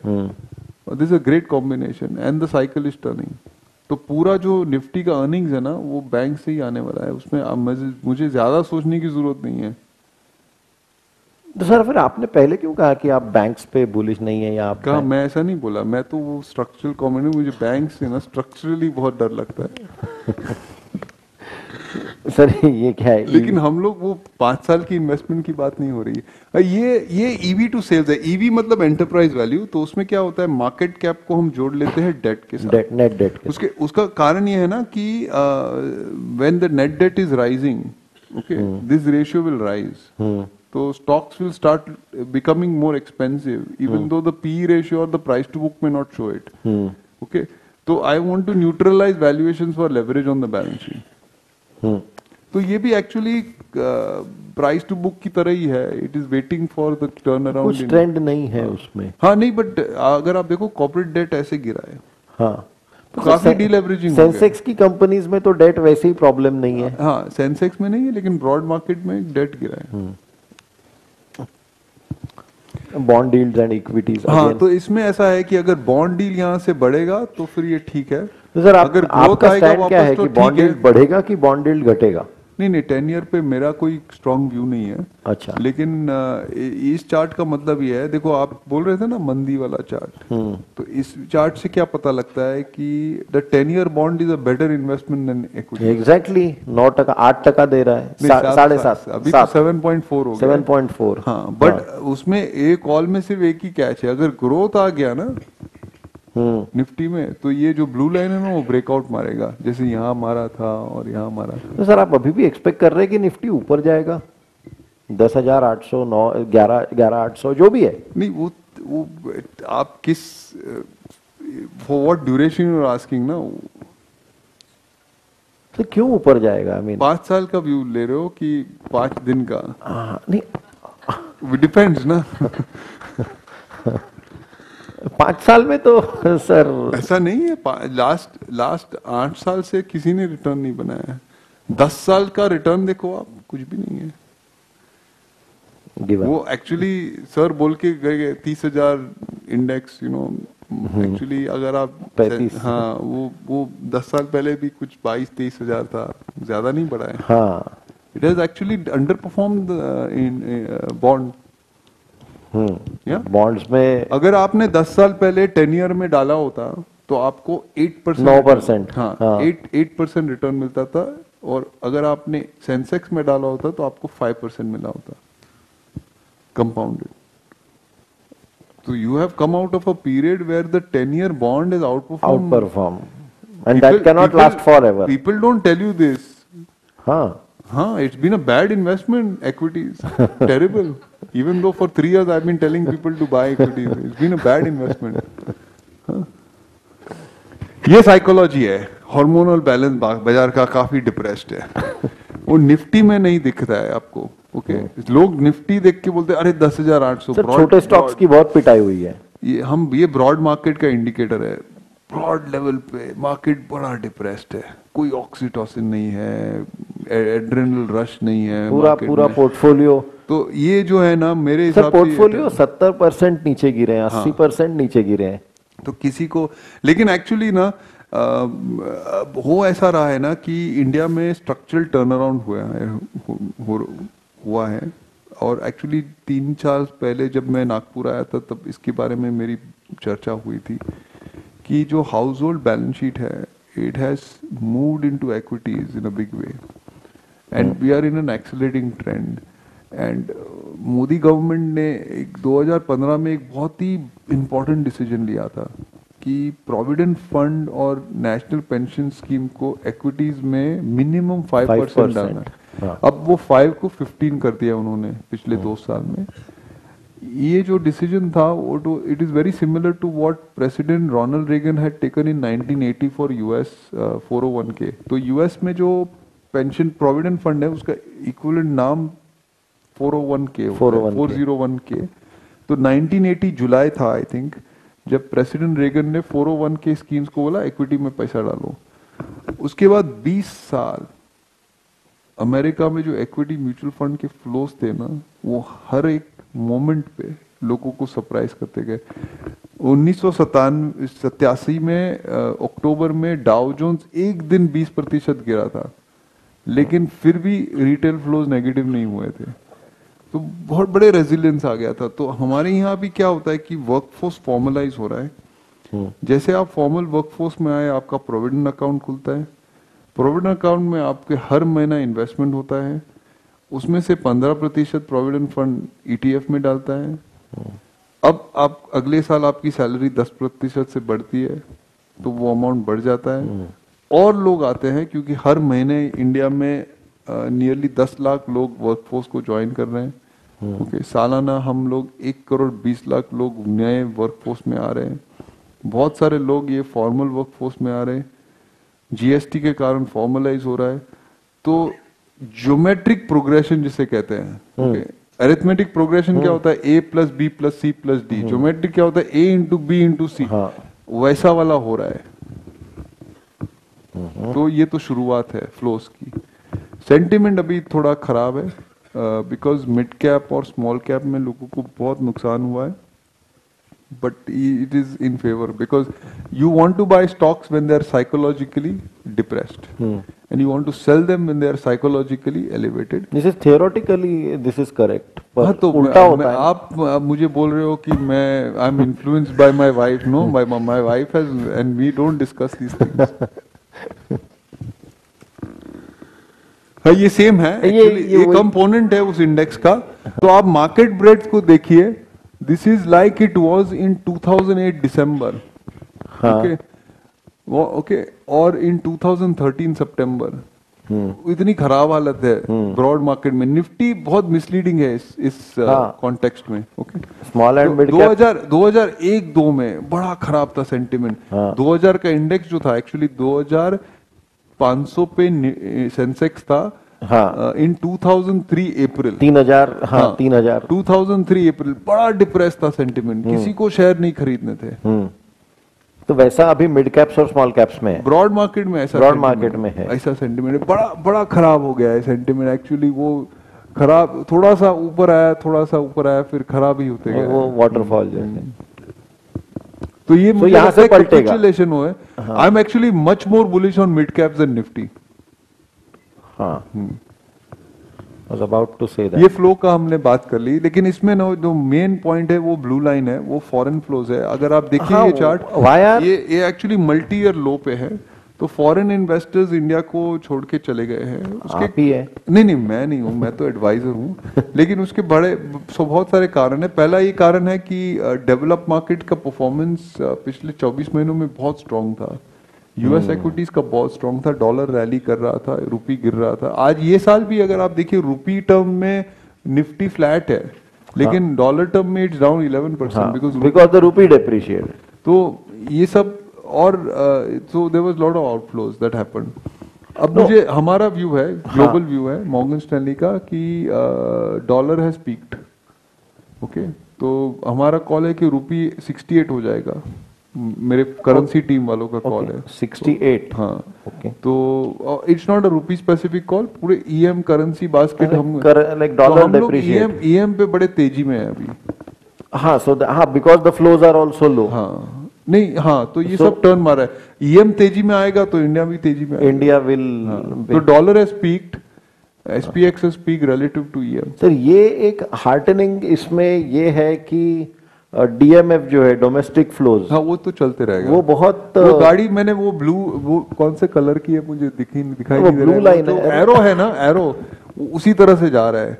ये नंबर जो है एफ़ का या एफ़ का जो इन्फ्लुएंस है मार्केट पे वो तो बहुत वो कम कम होते हुए दिख रहा है विच इज़ वो जो सब लोग बोलते हैं उसका कम, ये कम हो गया वो बहुत कम हो गया और भी कम हो जाएगा और भी कम जो है will become very domestic oriented अच्छा। हाँ। तो रिटेल इन्वेस्टर पार्टिसिपेशन बहुत room है। अभी भी और बढ़ेगा तो म्यूचुअल फंड का। हुई है सर सिर्फ़ तीन चार साल हुए हैं अभी और पंद्रह बीस साल चलेगा। ये एक्चुअली ना थोड़ा सा कॉन्ट्रडिक्टरी चार्ट है बिकॉज़ एक्चुअली साइकिल के हिसाब से वॉलिटिलिटी गिरनी चाहिए लेकिन अगर आप माहौल देखो तो लग नहीं रहा है कि वॉलिटिलिटी गिरेगी। तो मुझे लगता है कि इसको थोड़ा चैलेंज है but cycle perspective because I want to be honest to the cycle I think volatility ought to fall if if wick i mean volatility falls तो market should go up.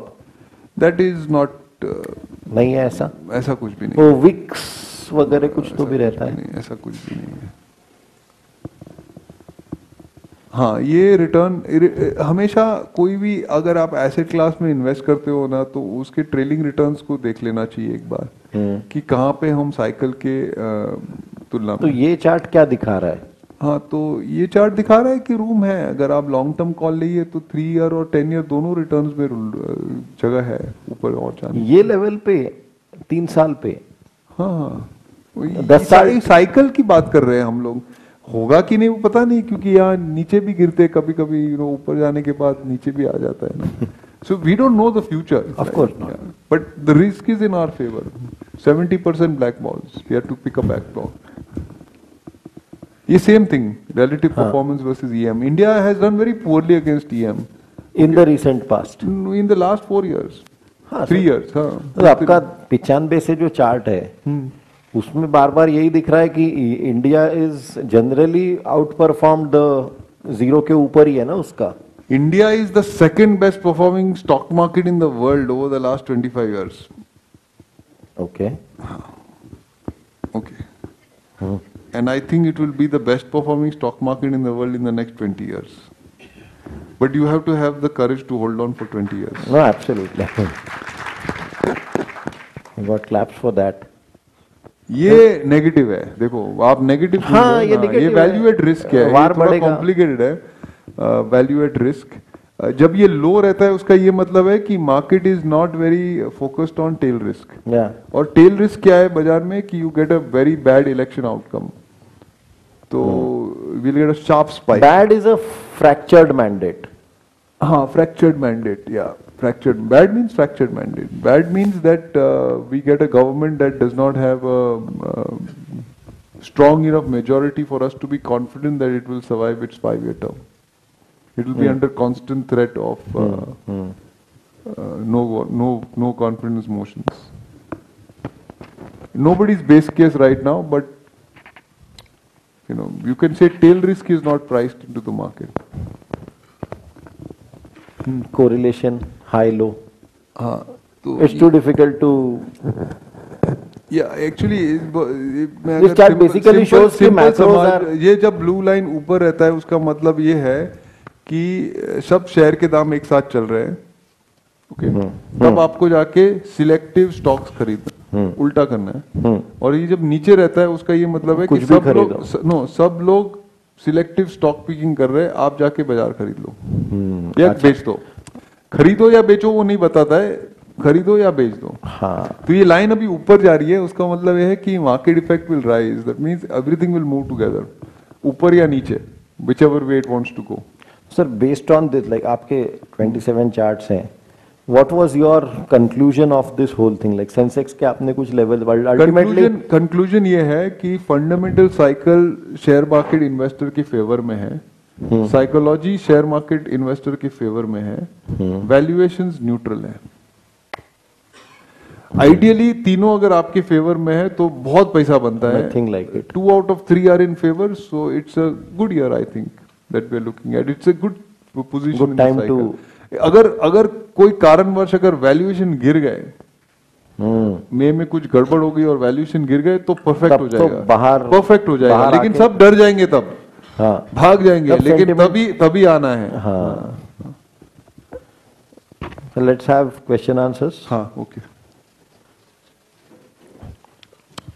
so this was the report of rhythm sir थोडा technical था but ज़रूरी था। काही questions असतील तर विचारू शकता? येस नॉट इन मराठी हाँ हाँ हिंदी में. No, you can ask in Marathi, but I will reply in Hindi or English. Please हाँ मंथली डिविडेंड जो प्रोवाइड किए जाते हैं मतलब कुछ। स्कीम्स है जिसमें म्यूचुअल फंड में हाँ। जो मंथली डिवाइड डिविडेंड देते हैं तो जिसमें एक एच डी एफ़ सी है बिरला है हाँ। जो मंथली डिविडेंड दे रहे तो इसमें जो फंड साइज़ है जैसे एच डी एफ़ सी का जो बैलेंस एडवांटेज फंड है तो इसका जो फंड साइज़ है बहुत ज़्यादा हो गया है। हम्म। मतलब बहुत ज़्यादा है। और वो फिर भी मंथली डिविडेंड बांट रहा है और जो उसका एनएवी है वो भी कम हो रहा है। तो वो थोड़ा सा मुझे वहाँ पे मतलब डिसीज़न नहीं समझ में आ रहा है कि लोगों को वहाँ पे एंट्री करवाना चाहिए नहीं करवाना चाहिए। इस लेवल पे? ये एक्चुअली मेरे एक्सपर्टाइज के बाहर है। मैं म्यूचुअल फंड ज़्यादा स्टडी नहीं करता हूँ। ओके लेकिन अ, सिर्फ़ बात मैं ये कहूँगा कि डिविडेंड और ग्रोथ के बीच में जो चॉइस होता है वो आपके टैक्स स्टेटस के हिसाब से होता है। Okay okay. ओके अगर आप हाई टैक्स ब्रैकेट में हो तो आप डिविडेंड फंड में इन्वेस्ट नहीं करना चाहिए क्योंकि डिविडेंड्स अब इंडिया में you know they get taxed at marginal rate once they cross a certain level ना? तो टैक्स फ्री नहीं है। जबकि ग्रोथ में अगर आप तीन साल के लिए पकड़ के रखो तो you know it becomes tax tax rates drop considerably तो ये टैक्स आर्बिट्राज है. तो beyond that I really don't know actually next तुमच्याकडे येऊ हेलो सर अभी जो नए आरबीआई के गवर्नर है शशिकांत दास तो ऐसा लग रहा है कि जो पीसी नाम्स जो है, वो थोड़े रिलैक्स करेंगे। और जो बात चल रही थी कि सरप्लस जो है गवर्नमेंट को चाहिए तो उस पर भी, यानी वो डिसीज़न फेवरेबल टू गवर्नमेंट लेंगे। लेकिन कुछ दिन पहले डिप्टी गवर्नर विराल आचार्य ने कहा था कि ऐसा अगर हो तो यानी मार्केट में मार्केट अच्छा नहीं रहेगा लॉन्ग टर्म में प्रॉब्लम्स आएँगे। तो उस पर, अगर ये पीसीए नॉर्म्स अगर ये होती है और अगर आरबीआई सरप्लस देता है तो क्या पोजीशन रहेगी मार्केट की? नहीं, लेकिन ये आपको किसने बताया कि नए गवर्नर ये करने वाला है? मैं, ये गलत है। क्योंकि 19 नवंबर को जो आरबीआई का बोर्ड मीटिंग हुआ था, उसमें ये तय किया गया था कि पीसीए नॉर्म का मैटर जो है, वो है, वो एक आरबीआई कमेटी डिस्कस करके बताएगी। और जो रिजर्व्स के रिजर्व्स का मामला है, एक जॉइंट आरबीआई और गवर्नमेंट की कमेटी बन रही है। तो दोनों की कमिटी, कमिटियाँ अभी तक बनी नहीं हुई है। तो ये डिसीज़न अभी वो कमेटी के पास है। तो उसमें तो चंद महीने लग जाएँगे। तो ये गलत है एक्चुअली ये कंक्लूजन ही गलत है। ओके okay, रही बात जो आपने कही डेप्यूटर गवर्नर जो, जो कहा था वो actually I think you know committee India में जैसे ये होता है कमिटीज बड़े डिटेल में रिपोर्ट बनाती है तो प्रोज एंड कॉन्स दोनों लिस्ट कर देंगे कि क्या ठीक है और क्या नहीं है। तो आज आरबीआई के पास कुछ साढ़े नौ लाख करोड़ के रिजर्व्स हैं। तो इंटरनेशनल स्टैंडर्ड्स की तुलना में में भी दो तीन लाख करोड़ ज़्यादा है। तो ये उनको डिसाइड करना है कि इंडिया की मैक्रो स्टेबिलिटी ए लेवल पे पहुँच गई है कि हमको ये एक्सेस रिज़र्व नहीं चाहिए। तो let the committee come back and tell us ना। तो मुझे लग रहा है ये तो छह आठ महीने लगेंगे। इसमें आरबीआई गवर्नर का डिसीज़न नहीं है ये अभी। Let's see Myself, a investor from last 20, 25 years, I must compliment Shivani for arranging such a fantastic seminar this time. And uh, I must say, this is the best ever I have attended. Uh, beautiful where we are in the cycle. Uh, एक stock के ऊपर question पूछना चाहूंगा कि you said कि credit growth is back on banks and they are growing at 15% at least. So you are uh, telling about, uh, you know, you are bullish on private banks or nationalized banks? Or best in both? नहीं corporate banks corporate banks I am agnostic to public and private but generally speaking I prefer private over public नहीं to be specific public sector company subserve other interest you know so minority share holder sometimes get compromise आप yes yes bank पूछना चाहते हैं क्या? नहीं नहीं नहीं HDFC bank Kotak Mahindra bank और एसबीआई नहीं नहीं नहीं आप स्पेसिफिक स्पेसिफिक नेम्स का डिस्कस करना को that no no is no scope for me to discuss that Okay. But I am just saying that I prefer corporate banks okay and जो you know I we should not distinguish between you know so there are some some banks that are called as retail banks okay? तो वो distinction मुझे पसंद नहीं है okay I think banks are basically doing well in my view in the next few months so you should buy large banks they will be the biggest beneficiary अब इसमें decision है private के public तो उस पे मैं आपको actually मेरा व्यू दे रहा था कि पब्लिक सेक्टर में ऐसा होता है कि sometimes minority share holders are compromise for other other things that public sector companies tend to do they are not necessarily only subservient to minority shareholders. So you have to be cognizant of that. That doesn't mean shares don't go up, okay? A lot of public sector companies have delivered fantastic returns in the last 20 years. Okay, so that's the context. So one more question. Uh, you're telling that ki NBFCs have done Cutnell competition and all those and they are going to be down for one year. But if we are talking about the best in the NBFCs, will they will also suffer or they will grow? नहीं मैंने ऐसा नहीं बोला है कि they'll be down. okay okay. मैंने सिर्फ़ इतना कहा कि they have been pushed into providing for greater liquidity on their balance sheet और उसके कारण it's possible that their growth slows down okay अब इसमें भी आपने बहुत सही सही actually I should have clarified that तो ये बहुत ही इंपॉर्टेंट क्वेश्चन है कि there are certain NBFCs who don't have to do this correct because they have very strong balance sheets and very high credibility तो उनको ये सब नहीं करना है। जो वीकर एनबीएफसीज है उनको ये करना पड़ेगा। तो वहाँ पे सर्टनली ग्रोथ स्लो डाउन होगा। लेकिन अगर आप शेयर के दाम देखोगे तो वो गिर भी गए हैं उनके। तो ऐसा नहीं है कि market is not aware of this कोई उसमें अपॉर्चुनिटी नहीं है। There are some NBFCs class NBFCs way are at price to book at 15 still they are growing और still their price is not see valuations are very very important the price at which you buy something has to be has to be justified by the by the growth that the that the company or delivers. And if you buy something at the wrong price, even if the growth is strong, you will not make money. So that individual decision you have to take on that basis. The challenge, of course, is that we don't know what the growth will be. So I, generally speaking, don't like high multiples. Because the risk is that you end up with some negative surprise at some point in time and then the share price falls. Because a high multiple by its very nature means that there is very little tolerance for negative surprise. Okay? Okay, thank you thank you.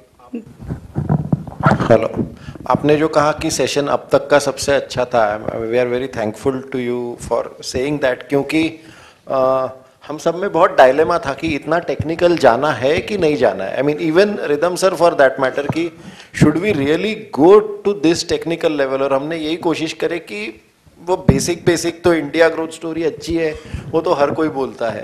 तो थोड़ी सी कोशिश और ऐसे लोग बार बार नहीं आते हैं। तो इसलिए हमने कोशिश की और आपको अगर वो अच्छा लगा आई होप सभी को अच्छा लगा होगा।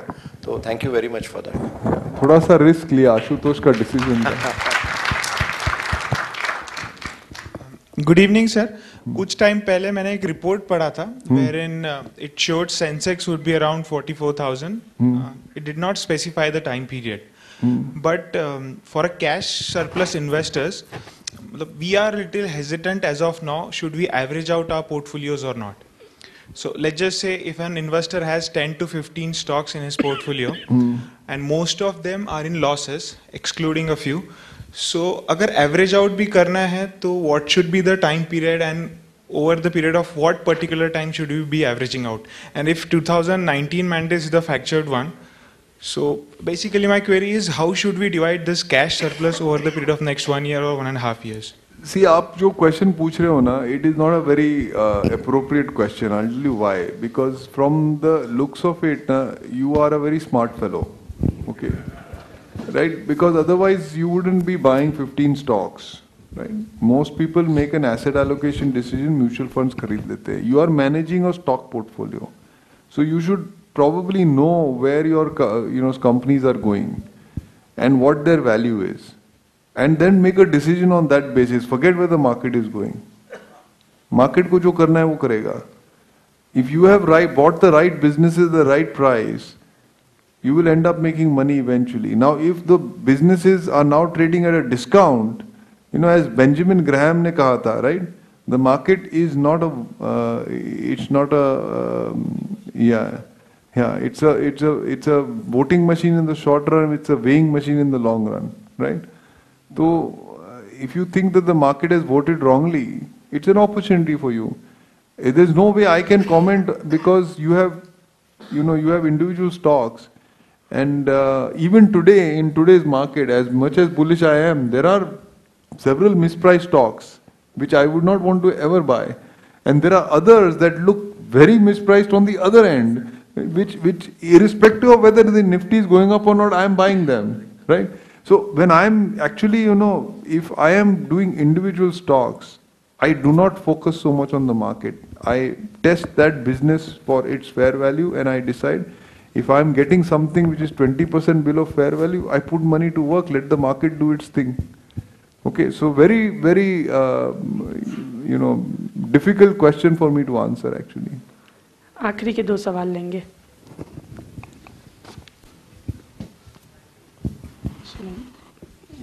समोर घ्या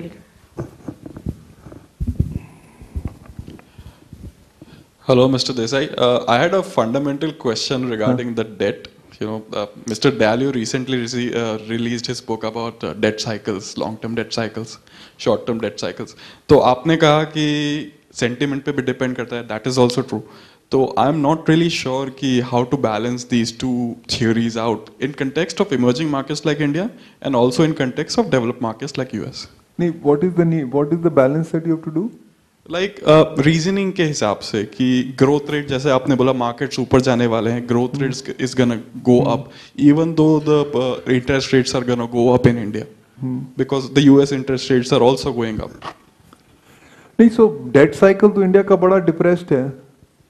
So we are entering into a new debt cycle But the interest rates will also be going up. So would that, that not depress the debt cycle maybe a little bit? see, you should see interest rates in real terms, not in nominal terms. Okay. So that is very important. So all questions on interest rates come in, nom in nominal terms. But where is interest rate going in real terms? I don't think it's going up. Thank you. So you know that you have to keep in mind. Bansula's a question. Hello, sir.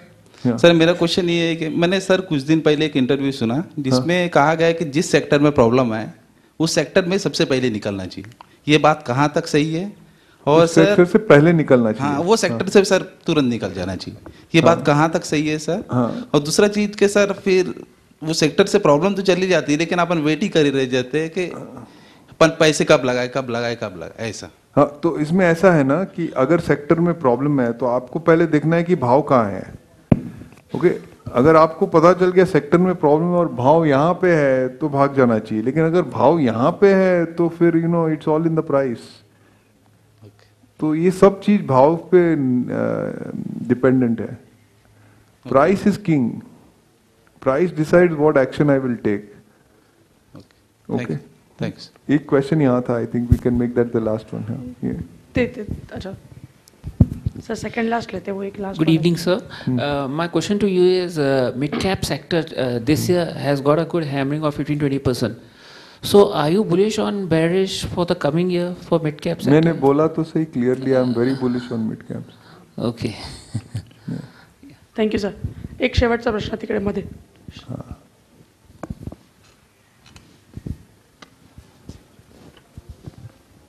Sir ये second last एक मेरा भी question था। Okay Shivani you always ask the difficult question नहीं नहीं sir good evening sir हाँ जैसे आपने बताया कि जैसे फ्रैक्चर मैंडेट आता है हाँ हाँ। तो यानी अनसर्टेनिटी रहेगी और मार्केट के ऊपर अच्छा यानी अच्छा इफ़ेक्ट नहीं रहेगा। अगर क्लियर मैंडेट आता है स्ट्रांग गवर्नमेंट बनती है हम्म। और उसके प्राइम मिनिस्टर राहुल गांधी बनते हैं तो हाँ। मार्केट का क्या होगा?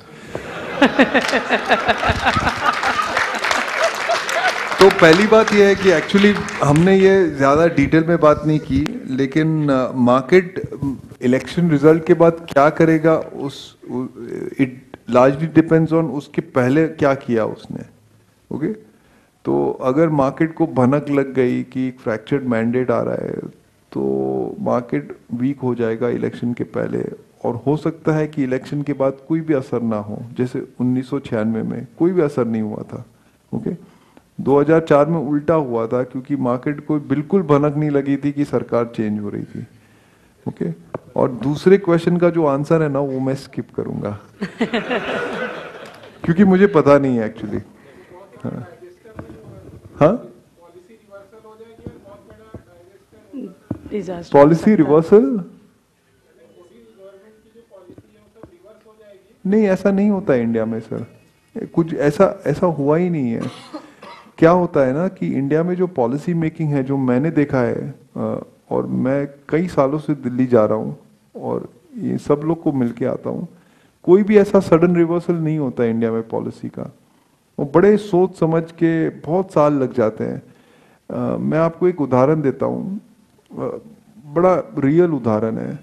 यू नो 2007 में हम लोग ने वन टू थ्री साइन किया था न्यूक्लियर अग्रीमेंट जिसके लिए एक्चुअली उस वक्त की यूपीए सरकार पे नो कॉन्फिडेंस मोशन मूव हुआ था राइट आपको पता है वन टू थ्री का जो अग्रीमेंट था, वो किसकी सरकार में उसके इनिशिएशन हुआ था? थॉट प्रोसेस का।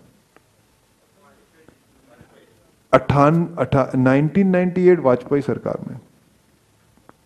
तो कोई पॉलिसी रिवर्सल नहीं हुआ था। नौ साल लगा, वो बड़े ब्यूरोक्रेट्स बड़े सोच समझ के पॉलिसी डॉक्यूमेंट बनाते हैं, सब एंगल से देखते हैं, सरकार आती है, जाती है, बीच में तीन सरकारें चेंज हो गई।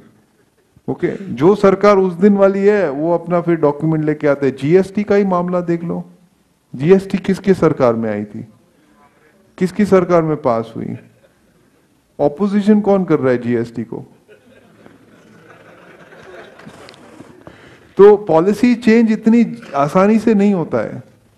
इंडिया में मैं बड़ी बड़े पॉलिसीज़ की बात छोटे पॉलिसीज़ आर नॉट रेलिवेंट जो बड़े बड़े चेंजेस है ना वो बड़े पक्के आते हैं पाँच दस साल में। सरकारें बीच में चेंज हो जाती है और पॉलिसी चलती रहती है।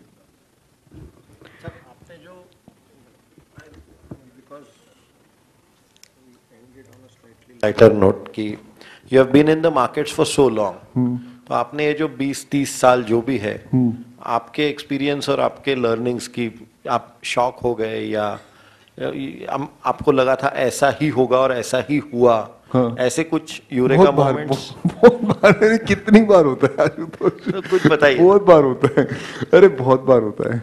तो भी वन और टू ये सितंबर का ही मामला ले लो। दूर दूर तक आई एन की भनक नहीं थी। तो लर्निंग मतलब we don't know the future we don't know what's going to come to our doorstep so i think we should all be very cautious about uh, life in that sense not get too belligerent about future forecasting कि मुझे पता ही है कि ये होने वाला है ऐसा कुछ भी नहीं होता है thank you very much sir मेरा अंत वाला सवाल हाँ। ये थोड़ा सा लाइटर नोट वाला ही था उसी को कंटिन्यू करूँगी। एफ़ uh, जब इंडिया में आते हैं और चूँकि आप बता चुके हैं कि आप एडवाइज़र हो मतलब बाकी सबको सो एक आपका परसेप्शन क्या है कि 2019 वाला इलेक्शन क्या होगा? या फिर आप बाहर वालों को क्या बताते हो और बाहर वाले इंडिया के बारे में क्या सोचते हैं? हम लोग इलेक्शन के रिज़ल्ट पे बिल्कुल कमेंट्री नहीं देते। हैं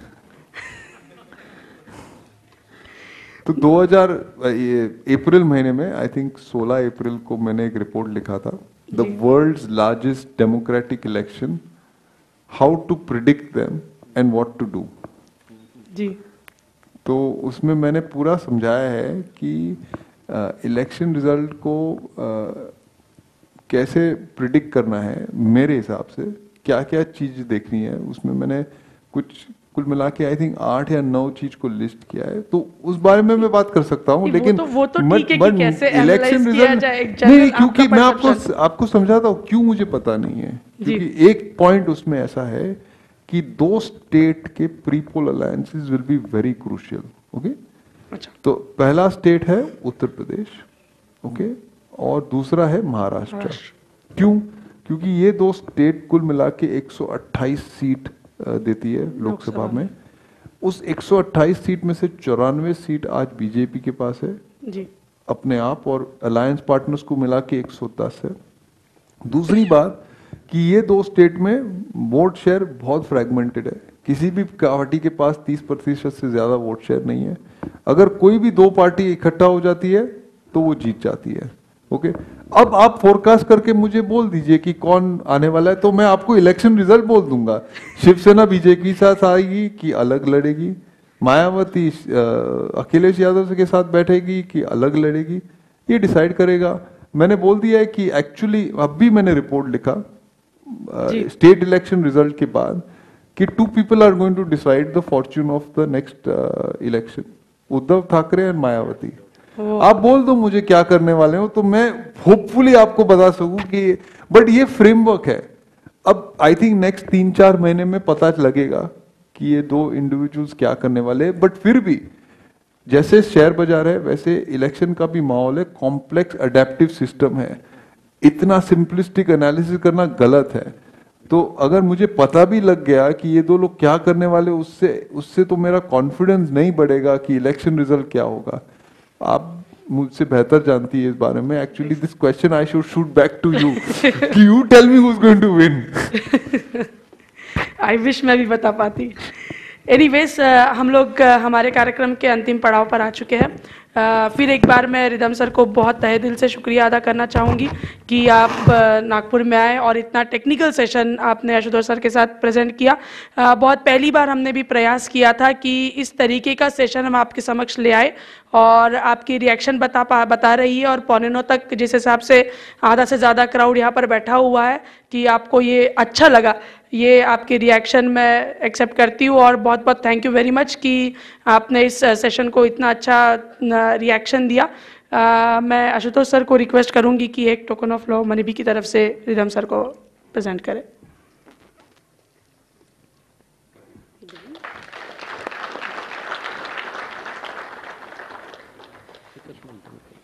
एक सिर्फ़ पॉइंट मुझे कहना है लास्ट में कि कोई भी चीज़ जब हम पढ़ाई करते हैं तो आसानी से कुछ भी समझ में नहीं आता है। कोई भी विषय नॉट ओनली फाइनेंस और इसीलिए पूरा प्रयास यही था कि एक बार कोशिश तो करके देखते हैं कि थोड़ा और जो सर जैसे लोग या जो रिपोर्ट्स आते हैं तो ये जो हमने प्रयास किया, पता नहीं मैं कित हद तक उसको जस्टिस कर सका।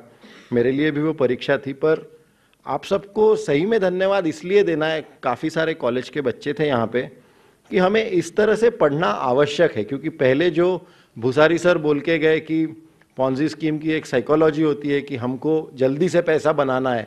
और उसके एग्जैक्ट अपोजिट पिछला एक डेढ़ घंटा हुआ कि एक एक टॉपिक एक एक टॉपिक का जिसको बाल की खाल जो हम कहते हैं वो पूरा हुआ। तो चाहे शेयर बाज़ार हो, चाहे कोई और भी हो, जब तक हम इस तरह से मेहनत नहीं करते, तब तक this is for students not for the senior investors मैं आपको उपदेश नहीं दे सकता हूँ, पर जो स्टूडेंट्स यहाँ पे आए थे, उनको बस यही बताना आवश्यक है कि एक चीज़ पकड़ के उसके अंदर जाना हमें आवश्यक है और फिर थकान आए, चाहे नींद आए, चाहे बोर लगे, चाहे बाउं दो तीन वर्ड तो मेरे लिए बाउंसर गए यहाँ से। पढ़ाई करने के बाद भी। तो ये प्रयास था हमारा और आपने सपोर्ट किया, किसी ने बोल के दिखाया। सही में बहुत